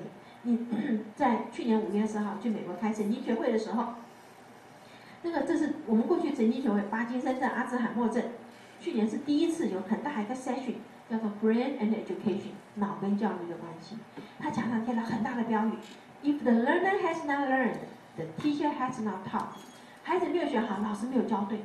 我们说啊，怎么是这样子？你看我教有人会，有人不会。会我教的对，不会比较笨，比较懒，回家没有做家课。他说不是，今天每一个孩子都有长处。你用欣赏的眼光看你的孩子，你会看到他的长处，从他的长处切入。他说没有不可教的孩子。今天的孩子没有站起来，他说你没有花足够的时间把孩子的长处找出来。哇，我们听了真的是大吃一惊。可是后来发现真的是对的，我很快给你举个例子，你就真的发现说，每个孩子都有长处。我们今天做老师的、做家长的责任是把孩子的长处找出来，把它放对地方。你听过那句话？没有什么叫天才，放对了 niche，让他的能力能够发展出来就是天才。哈，我是一九九二年回台湾的，那时候刚回来是在中正大学教书。我回来之前，有人告诉我说：“哎呀，民雄偏僻呀，鸟不生蛋。”我回到民雄去一看，连鸟都没有。哈，真的是很偏僻的地方。那因为穷乡僻壤，就那个新的观念就进不来哈。就 我儿子的班上就有个同学，他就是怎样失读症 （dyslexia） 不能读哈。你念给他听，他会做，眼睛看字没办法看。我们现在已经知道是一个基因上的关系，跟我们的染色体二三六十五十八是有关系的。爱迪生、爱因斯坦、丘吉尔、洛克菲勒都是阅读障碍者。Nelson Rockefeller，你去想。洛克菲勒家族的继承人，今天他不能阅读，他的爸爸不知道请多好的家教来教他，他是没有办法读，那是基因上的关系。他最后学点字，他今天 他做纽约的州长时候，不是一天到晚演讲吗？怎么办呢？学点字，啊，用手指在里面点的哈。现在还活着有阅读障碍就是李光耀，是不是？那所以今天这个这个，其实我们觉得说有什么问题，真的不是问题，是因为像李光耀讲的，上面都很公平，给你开个门，呃，给你关个门，给你开个窗。李光耀自己讲，他说他的记忆力很好，他的演讲稿他太太写，写完念两遍给他听就会背了哈。他说，好的演讲者眼睛要看听众啊，不是拿着稿念的，对不对？要看听众。好，今天 他自己啊，他的演讲很有煽动性，那真的是这样。所以这其实有任何的毛毛问题，其实我觉得那不是问题，看你怎么去看，真的是 有的时候甚至是一个，我等下讲那个事你就晓得了哈。发现这个同学不能读的时候，他每天手被老师打，肿到两公分两公分高，真的好可怜哦！我看都很不忍心，一直就跟老师说：“老师不要打他，他是不是他不会不肯做，他是不能做，他不会做。”老师说他他不肯做加课，当然就不会呀，打了就会呀。好，小学很多人都是认为打了就会，所以后来我就跟他的爸爸讲，我说：“你孩子很忠厚哈，如果是我，你每天打我就跑掉了，我还在那边坐那边被你打，对不对？更何况我他的数学我念给他听，他是会的，这孩子不是笨的。”叫他说叫他学一个手艺，将来有饭吃的哈。那时候家里有个很有名的总护师了哈，大师傅就拜他做师傅做徒弟了。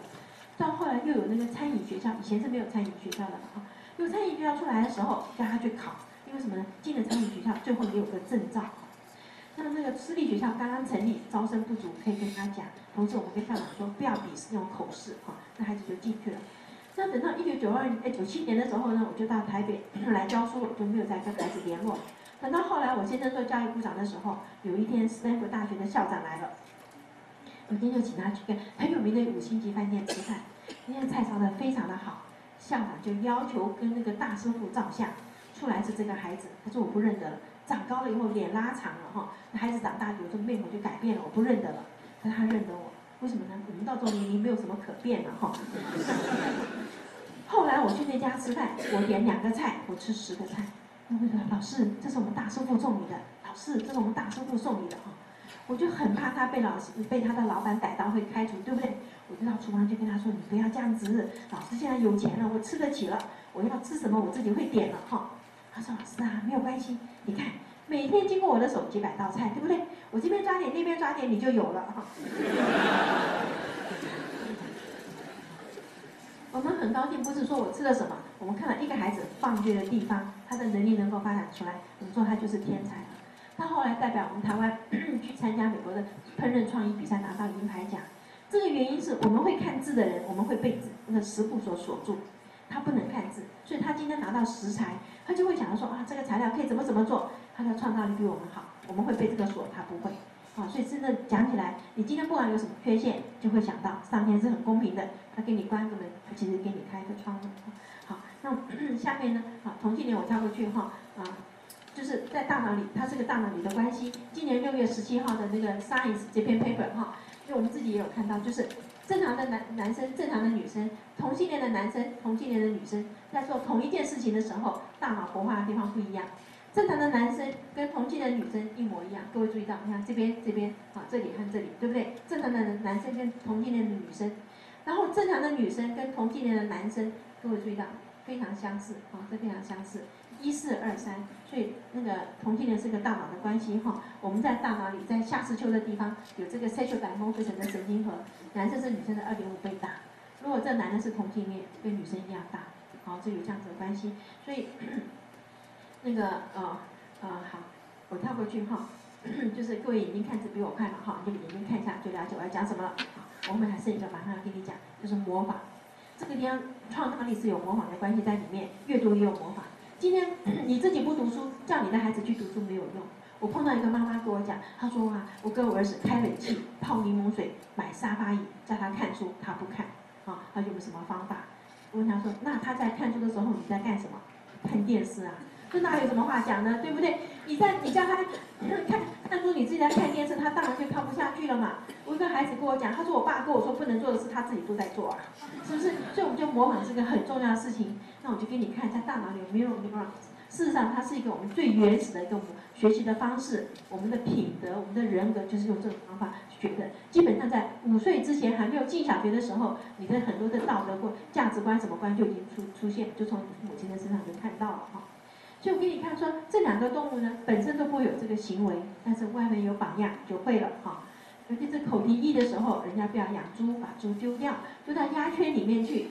鸭子长大在这边游泳，猪在这里，每天游两个小时，好，真的模仿是最原始的学习哈。我觉得猴子看帽子的样子跟我先生很像。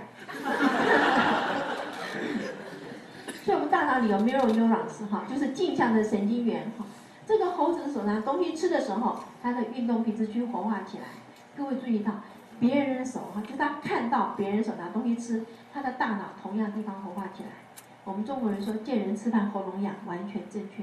好，那我们在实验上，请大学生音乐系的学生躺在核磁共振里面，叫他想象他在弹一个贝多芬的手拿塔，扫描他的大脑，然后给他一个琴键，叫他真的在弹，扫描他的大脑的时候，你会发现同样地方。我们也看到沙盘演练会有效，你活化同样的哈。我这边问各位同学一下，你们有没有这种经验哈？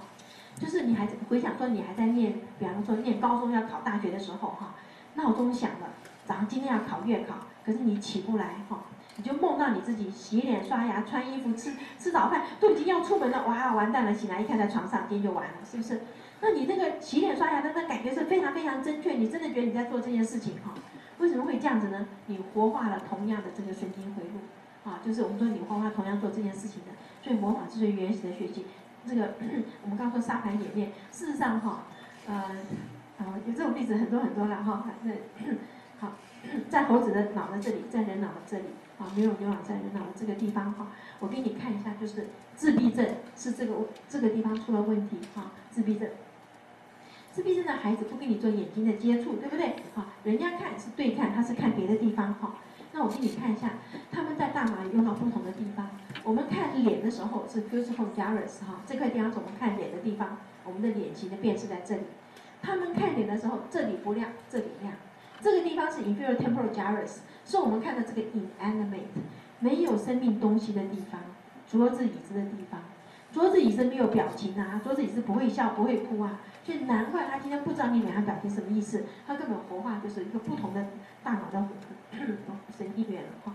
那另外呢，自闭症不是母亲性冷感，孩子对你笑，你不对他笑，它是个大脑的病变，胚胎初期的病变。这是一个二十四岁自闭症女孩子的脑死了以后捐出来做解剖，这个是正常人的，这是她的。各位马上注意到，神经纤维只有人家的五分之一，神经元只有人家的一半，是大脑初期的病变了哈。那如果说模仿是最原始的学习，我们的家是最早的学习场所，就跟各位看一下，孩子要的是安全感。这是这个实验，大概是我们心理学一百年来最重要的实验。就是说，小猴子一出生，跟他的母亲隔离，给他一个绒布的妈妈，一个铁丝网的妈妈。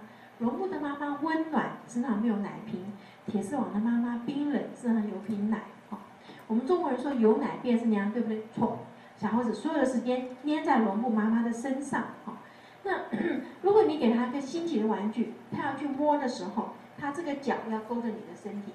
好，就是他这个脚勾着你身体，他才要去摸。如果说这个这个地方没有，他不会去。也就是安全感最重要。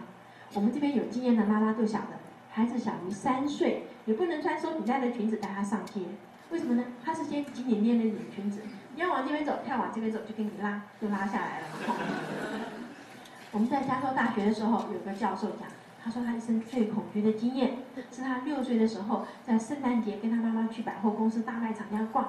他说我就紧紧的捏着我妈妈的裙子，我逛逛逛逛的很高兴的时候，抬头一看，裙子上面的脸不是我妈妈。好，他说他一生最恐惧的经验。我们问他怎么会这样子，他说那时候流行灯芯绒，就是那个布料摸起来感觉是一样的，被人家挤的时候手放开了，再捏回去捏他下面圆圆的裙子。他说那个太太啊。家里有小孩，对不对？他只是忘了，今天我的小孩是没有带出来的，啊，就被人家这样偷摸着、跟跟拉着走，也觉得很自然。那我们就问他：你那时候六岁，现在已经五十四岁了，难道你中间没有比这个更恐惧的事情吗？他说没有。我们就看到把妈妈拿走，可是你给他很多新奇的玩具，各位注意到什么？还这个小猴子两个手抱着头躲在墙角，新玩具给他就没有用了。也就是我们看到马斯洛这个三角形，哈。安全感是他最基本的东西，这个层次没有满足，上面什么都不要，所以孩子要的是安全感。然后我们也看到，这个小猴子的这样玩的，正常的猴子是这样子玩，不正常的哈，躲在墙角，因为后面没有敌人来，手放在嘴里撒挺，这个是吸一个大拇指，这个是整个手都放进去。好，我们有看到孩子撒挺，真的是一个拳头整个都塞进去，对不对？好，这是没有安全感的象征。这个实验最重要是后面这个地方。也就是这种猴子长大以后不能够正常的交配，那个实验者用人工受精的方式让她怀孕了以后，他把她亲生小孩虐待死。我们看到受虐儿长大变成施虐者哈，真的看了很恐惧，因为我们过去没有看到这么多什么母亲用滚水烫啊，或者今天早上的报纸上说才出生四十一天的女婴就被她妈妈打死掉了，还打到梳子都断掉哈，那怎么可能打到刚刚出生的婴儿这样子？这里面很可怕的呢，就是说，我跟各位举个例子哈，我的学生在高雄女监做实验，做到一个妈妈用针穿过她亲生女儿的手。你是不能相信有人这么狠心，对不对？所以我们觉得一个行为不对的时候，背后是有原因的。把他的病历倒出来看，这个母亲本身是个受虐儿，她 被她母亲的同居人强暴了八年，一直到她进了国中自残，被老师发现了以后，去报案，才把这男的抓去关。那我们就以为这妈妈一定要跟女儿道歉，说：“哎呀，真是对不起啊，我引狼入室害了你，对不对？”没有想到这母亲把女儿痛打一顿，说你去报案对不对？好啦，现在他抓去关了，我跟你都没有饭吃了啊。我们才看到说为母则强，女生一定要自己有 谋生的方式，你不能说生活依赖在别人身上，然后因为这样子，你看着人家去欺负你的女儿。因为父母是我们最信任的人，当你被你最信任人出卖的时候，那个伤害是很深的。他把他对他母亲的恨转移到他孩子身上，他的女儿才三岁半，他把他女儿叫做贱人。好，所以我们看到这种很害怕，因为现在一直有看到各式各样的这种很残忍的虐待孩子的方式，受虐儿长大变成施虐者，所以我们看到家的重要性哈。所以 这边呢，跟各位很快的讲一下，说教养孩子是个艺术，不是一个科学哈。它不是科学的意思，就是说你没办法被重复的。所以外面有很多什么亲子教什么手册什么都不要去相信了，那是讲一般性的原则，可是不见得适用在你孩子身上。我们上看到很多父亲紧张的不得了，人家会做这个，我还不会，什么什么没有关系，每个孩子不一样，每个孩子开窍的早晚不一样，哦，所以这这一点我觉得很重要。那么另外呢，就是我们说不要低估孩子的能力，从孩子的眼光来看事情，哈，从孩子的眼光来看事情非常重要，是因为我们没有看到哪个孩子叫前世欠你的债来讨债，他都是要拍你的马屁，因为他年纪小，拍错了拍在马腿上了，哈。所以 不能够冤枉孩子哈，你看这张图哈，孩子会非常的不甘愿。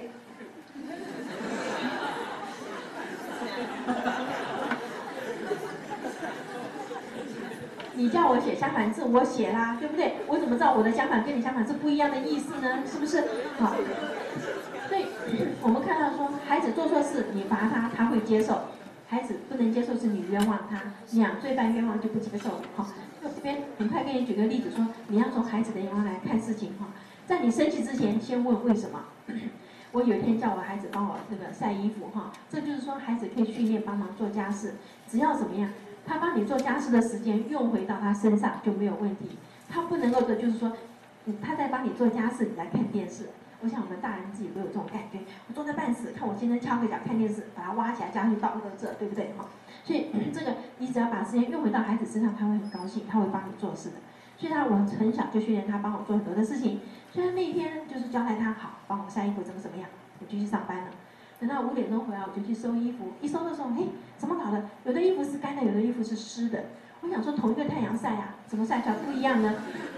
就把他叫来问，他就告诉我说：“妈妈，晒衣服是个很无聊的事情，我就晒一件去玩一下电玩，又晒一件又去玩一下电玩。”那个干的是我早上晒的，湿的是我下午晒的哈。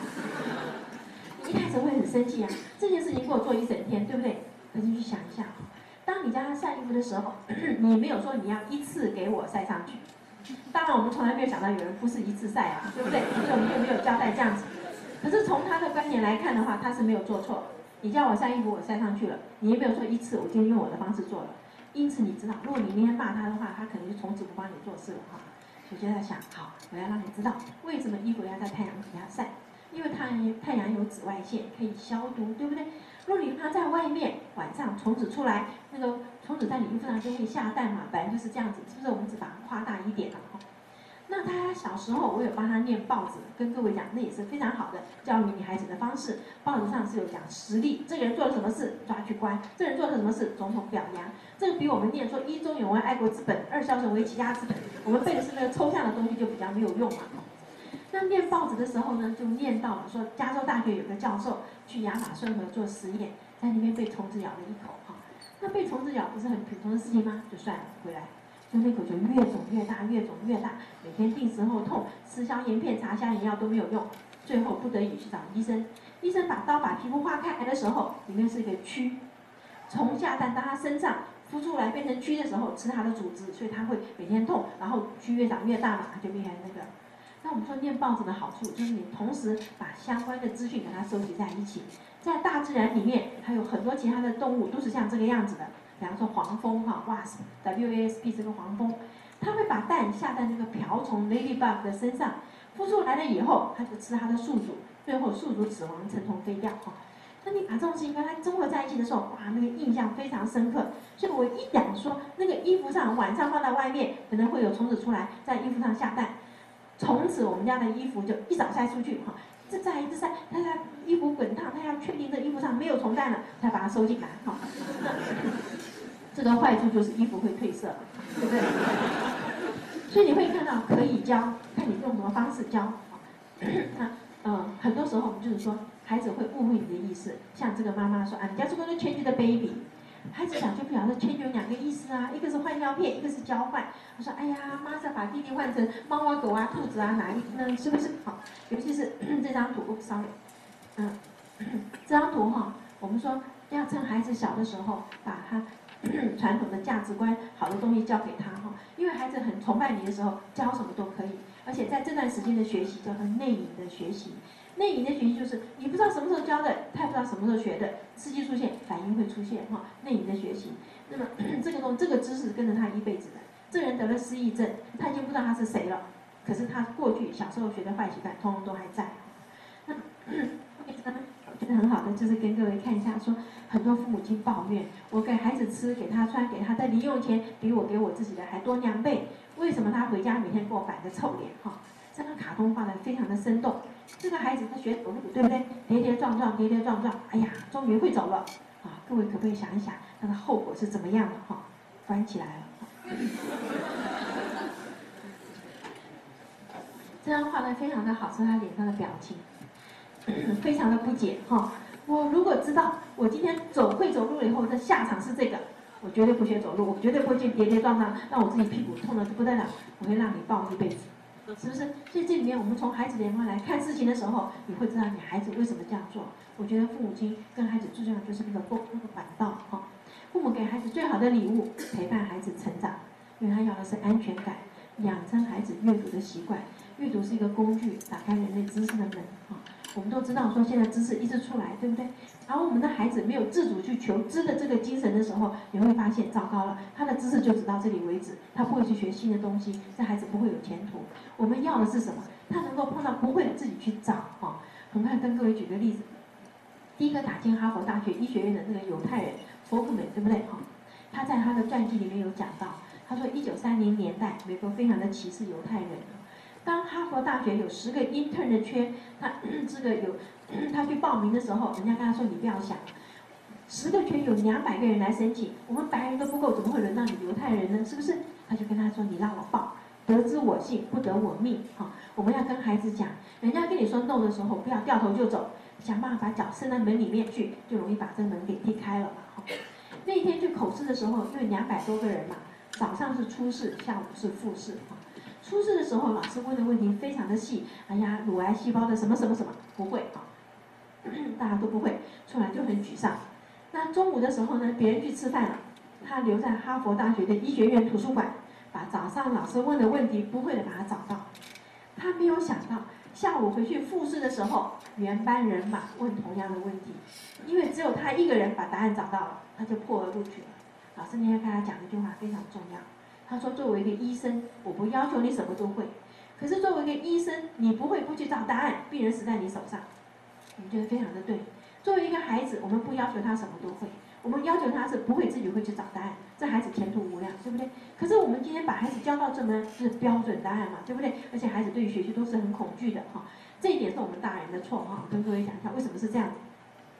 我一九九二年回来的时候，他们叫我去出高考的题目哈。”可是叫我去出的人没有告诉我要改考卷，所以我不知道。就出了以后，我就回到嘉义去了哈。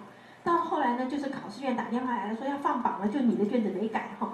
然后就急忙坐火车这样上去改的时候，最后一个人要把上面前面三个人的分数加起来，就写总分了哈。在加的时候发现不能加了，因为他们三个人都是给负分，我给的是正分。也是从美国回来的时候，我们平常给分数，我们是，你看孩子讲 I got something，他是得到多少分数，我们是扣掉多少分数。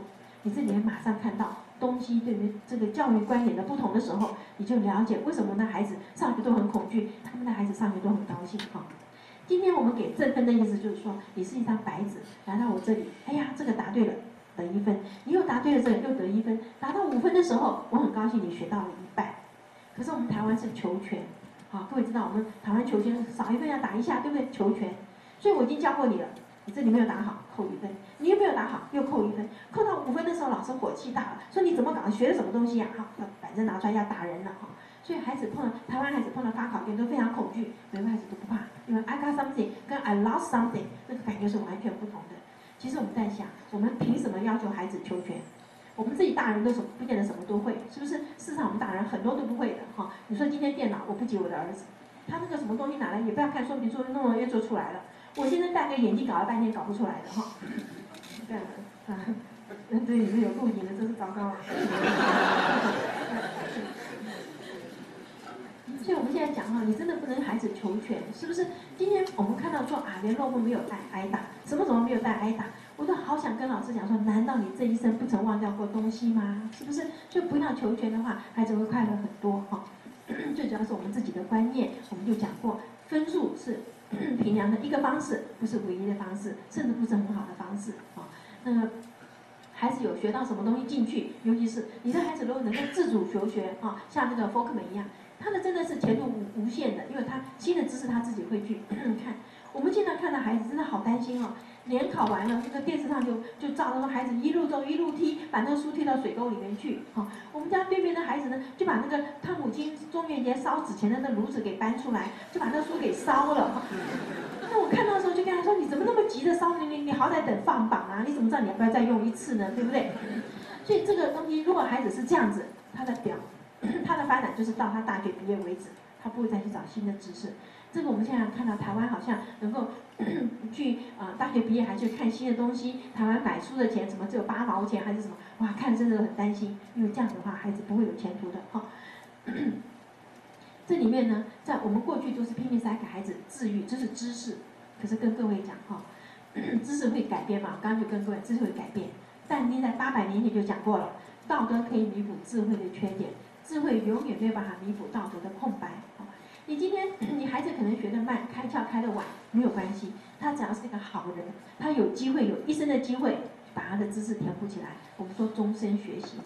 可是你是个 人的社会哈，你功课再好，你品德不好，没有人敢用你，对不对？而人的社会里面，我们要求什么？那个基本的核心价值观是不会变的，忠诚、正直、公平、正义，这是我们现在一定要教给孩子的。没有教的时候，你想想看，这孩子出来，这是个团队的社会里面，没有人敢用他了哈。那 这个呃，这是一个小猫的神经元，老猫的神经元，同一个猫，同一个神经元啊。在小猫的时候是密密麻麻的神经连接，到老猫的时候，常常走的路变大条，不常走的没有了哈。这边那个要跟各位讲说哈，我们今天教孩子一直做同样的题题，抄课本，做什么东西做十遍二十遍哈。因为我们现在教育的方式的时候，其实我们要的是什么？我们要的是速度和正确率。但是我们从来没有想到，你牺牲掉的是 弹性和创造力。我们刚刚讲过，那个创造力是神经回路的连接，对不对？当我们给孩子做很多不同的东西的时候，他的神经连得很密，所以我们今天说他会触类旁通、举一反三。可是我把他所有的时间都交去做数学、做实题、做一百题，课本抄十遍、抄一百遍，他这个神经做的东西神经很大，相对他牺牲掉了其他的可能性。我们刚刚讲过，我们的神经是有跟人家连的，连留起来；没有跟人家连的就消修点掉。所以这个图很清楚，让各位看到。我们今天让孩子其实什么？让他探索，让他学习新的东西。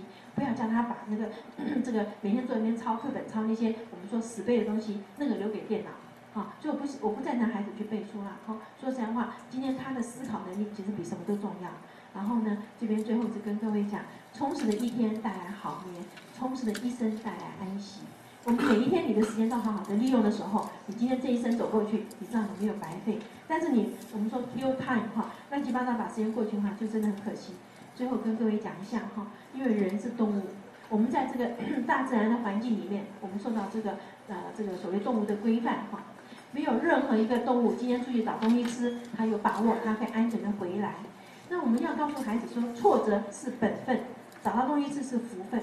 可是你挫折的时候怎么办呢？不要随便放弃，到人家嘴里了没有关系，手伸来掐了他的脖子，哈，他不能呼吸，嘴巴就要张开，就把它跳下来，就能逃过一劫。所以跟孩子讲，山穷水尽了没关系，你只要撑得下去，你有机会就那个 呃柳暗花明。我们最主要就是在社会上，我们说在一个动物的世界里面，哈。挫折是本分的时候，你要 never ever give up。我觉得有这张图的时候，你的人生会走得很圆满。哦，好，今天讲到这边哈，好，谢谢各位。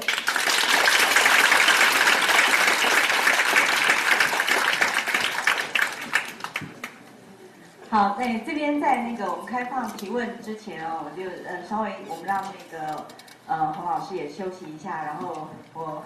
先讲一下我的心得哦。我们今天来的，我们从中艺来车上多了几个学生，因为我跟他们说，呃，洪兰老师的演讲是会改变你一生的演讲，你真的不来吗？结果他们就来了。如果各位赞成我这句话，麻烦现在给洪兰老师一个掌声。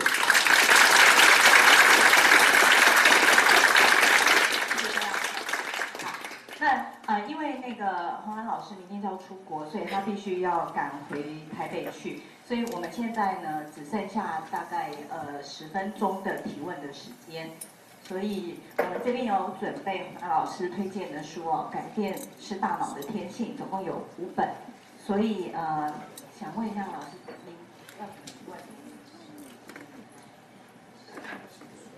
用举手好了，好不好？我要去赶九点十六分的那个院长在哪里？好，OK，好，大家要送我哈。对对对对，就是院长控制时间，你看时间差不多就好。OK，好，您您来喊停，OK，是不是？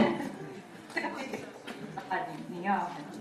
那请问呃，各位朋友有没有问题？好。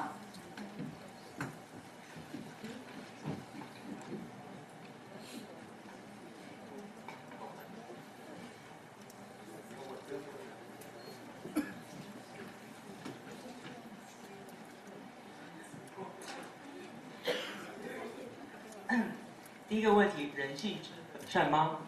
希特勒怎么回事？第二个问题，如何可执执行可靠的优教师选拔以及方法？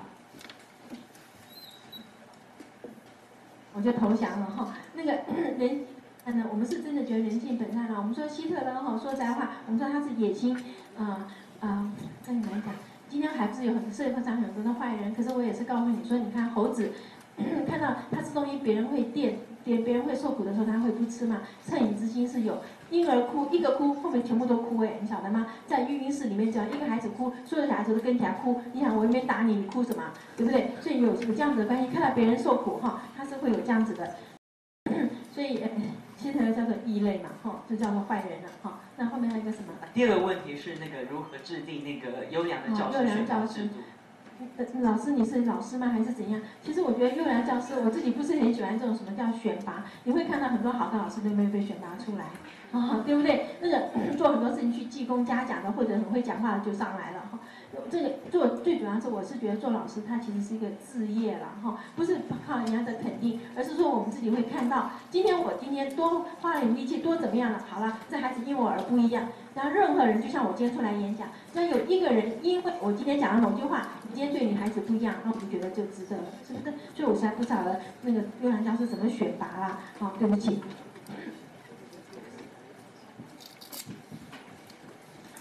大部分的人出生的智商都差不多吗？怎么知道人的大脑几乎都没有利用到？该怎么利用？呃，人出生的时候哈，照照讲，你的大脑的神经元是足够你所用的哈。我们那时候讲过，说脑的大小跟智慧不是有很大的关系，但是你后天就有很大的关系了哈。比方说，Jeremy Kagan，哈佛的那个教授，他有把刚刚出生四个月的婴儿给他听很大的声音，很什么什么，然后就来观察，哎呀，这个孩子 百分之四十人会大哭，吓到了，有百分之四十的孩子就去看声音从哪里来的，然后中间有百分之二十。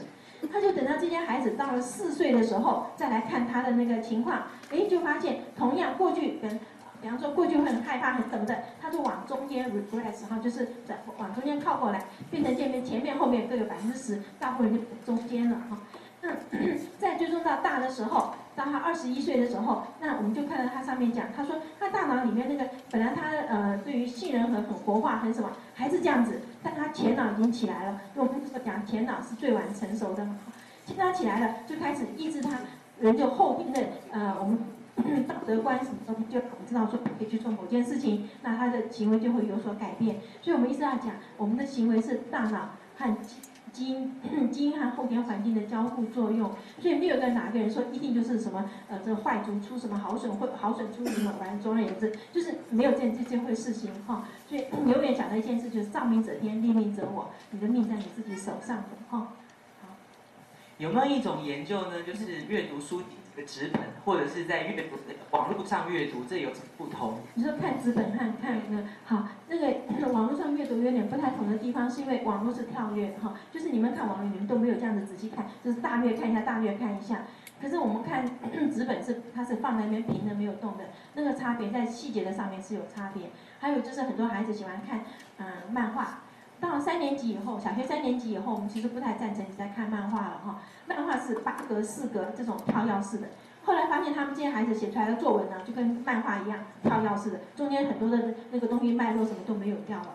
所以嗯，我们是会受到环境很大的影响哈。因为我们也跟各位看到，大脑是不同的在不停的在改变。所以我是觉得说，嗯，那个。电脑看东西那是没有关系，就好像说我今天明天要去美国，我的电脑里面就当了一大堆东西，怎么样，在飞机上没有事就看，好，这是可以的。但是你平常时候，你还是放在纸本上，因为你才会仔细看，尤其是特别重要的文件，要这样子看才可以。你会看到我们在开会哈，虽然说每次所有东西它都是先 email 给你了，可是重要的文件，开会当天还是发下来，你要眼睛看的字，因为一个字差差很多。啊，所以这个还是有关系的。你们，我们是可以节省纸张在电脑里面看，但是重要的东西，请各位同学，你还是要用笔啊点着看。或者你们以前不是念法律的哈，对我们来讲，一个字差生与死，所以我们那个老师有训练我们，说这个地方要小心。那么，呃，你们这一代跟我们这一代是有很大的差别哈。眼睛跳动哈，你们的闪光眼比我们厉害。你们这一代的比我们闪光眼厉害，我们是很少人的闪光眼，电脑还是在跳动，电脑荧幕是一直在跳动的哈，是有关系的。好，下一个问题是，都已经长到二十几岁了，如何让大脑再成长，提升创造力？都已经长到二十几岁了，如何再让大脑成长，提升创造力？可是我不是告诉你说大脑一直不停的在变吗？是不是没有说你长到二十几岁就不能变啊？那我刚刚的实验不是白讲了吗？对你一直不停在变嘛，是不是？好，这个不要担心哈。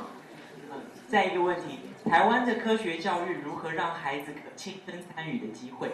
台湾教育啊，有没有改革啊？所以 这个里面是真的啦。我们现在非常鼓励孩子出去动手实际做，尤其是教育部在推生命教育的时候，我们一直觉得说不要在课堂里面上生命教育，那个是没有用的。把孩子出去到山地、到孤儿院、到哪里去实际做哈。那么 这一点哈，各位同学，你们真的，你们也可以透过你们的要求改变这个。我们过去什么事都在教室里面上课，跟各位讲，真正的教室在窗外。你真正的教室在窗外，出去走出去，你就会看到，你今天学到东西比在课本学到的多一百万倍。好，我儿子以前都讲不听，要喝可乐，要干什么？哈，我把他带到 那个呃那个那个麻风村去，哈，你知道他整个回来就改变掉。我们去麻风村的时候，我们是外面来的人，他很客气，给我们煮了稀饭。他们本来是吃番薯的，煮了稀饭。我们从台湾去的啊，看到稀饭，那肉松跟酱瓜呢，对不对？你怎么吃白稀饭？人家找肉松跟酱瓜。我那边找的时候，他们那边的孩子就三大碗的稀饭都全部吃完了走掉了。然后那个校长看我们就一直不肯吃白稀饭，就没有办法，就到他房间去端了一小碟的糖，白糖哦，就出来叫我们配这个吃。那我们就觉得宁可饿死也不要吃，对不对？哈，饿了三天就吃啦，是不是？所以我们就话就会发现，你的快乐其实跟相比较的。好，所以 这里其实有蛮多东西，我们需要孩子打开书来看的时候，他对他的人生的看法，最主要是今天我们的孩子现在缺的就是你的价值观。你今天活在这边是为什么？我不能够今天在世界上走过一去，走完了以后多我一个不多少我一个不少，好，那你真的是白走了一趟。你一定必须是因为你的关系，这个世界有所不同，你就没有白走了。那我们现在要给孩子真的就是这样子。我刚刚为什么讲说做老师的责任，做父母的责任，把孩子放对地方。我们现在最大的问题，孩子没有被放对地方。我们有很多孩子是有很多的能力，没有放对地方，忧郁过一生，这是我们大人的错。所以，我们也希望在改变这方面的观念，哈。好，那因为洪兰洪兰老师要赶车的缘故，所以我们就提问的时间就到这边。那签因为字了哈。对，那因为这个呃，所有五本书都已经签，待待会我会请这五位提问的朋友一起到前面来。那呃，我们最后再一次掌声，谢谢洪兰老师今天的。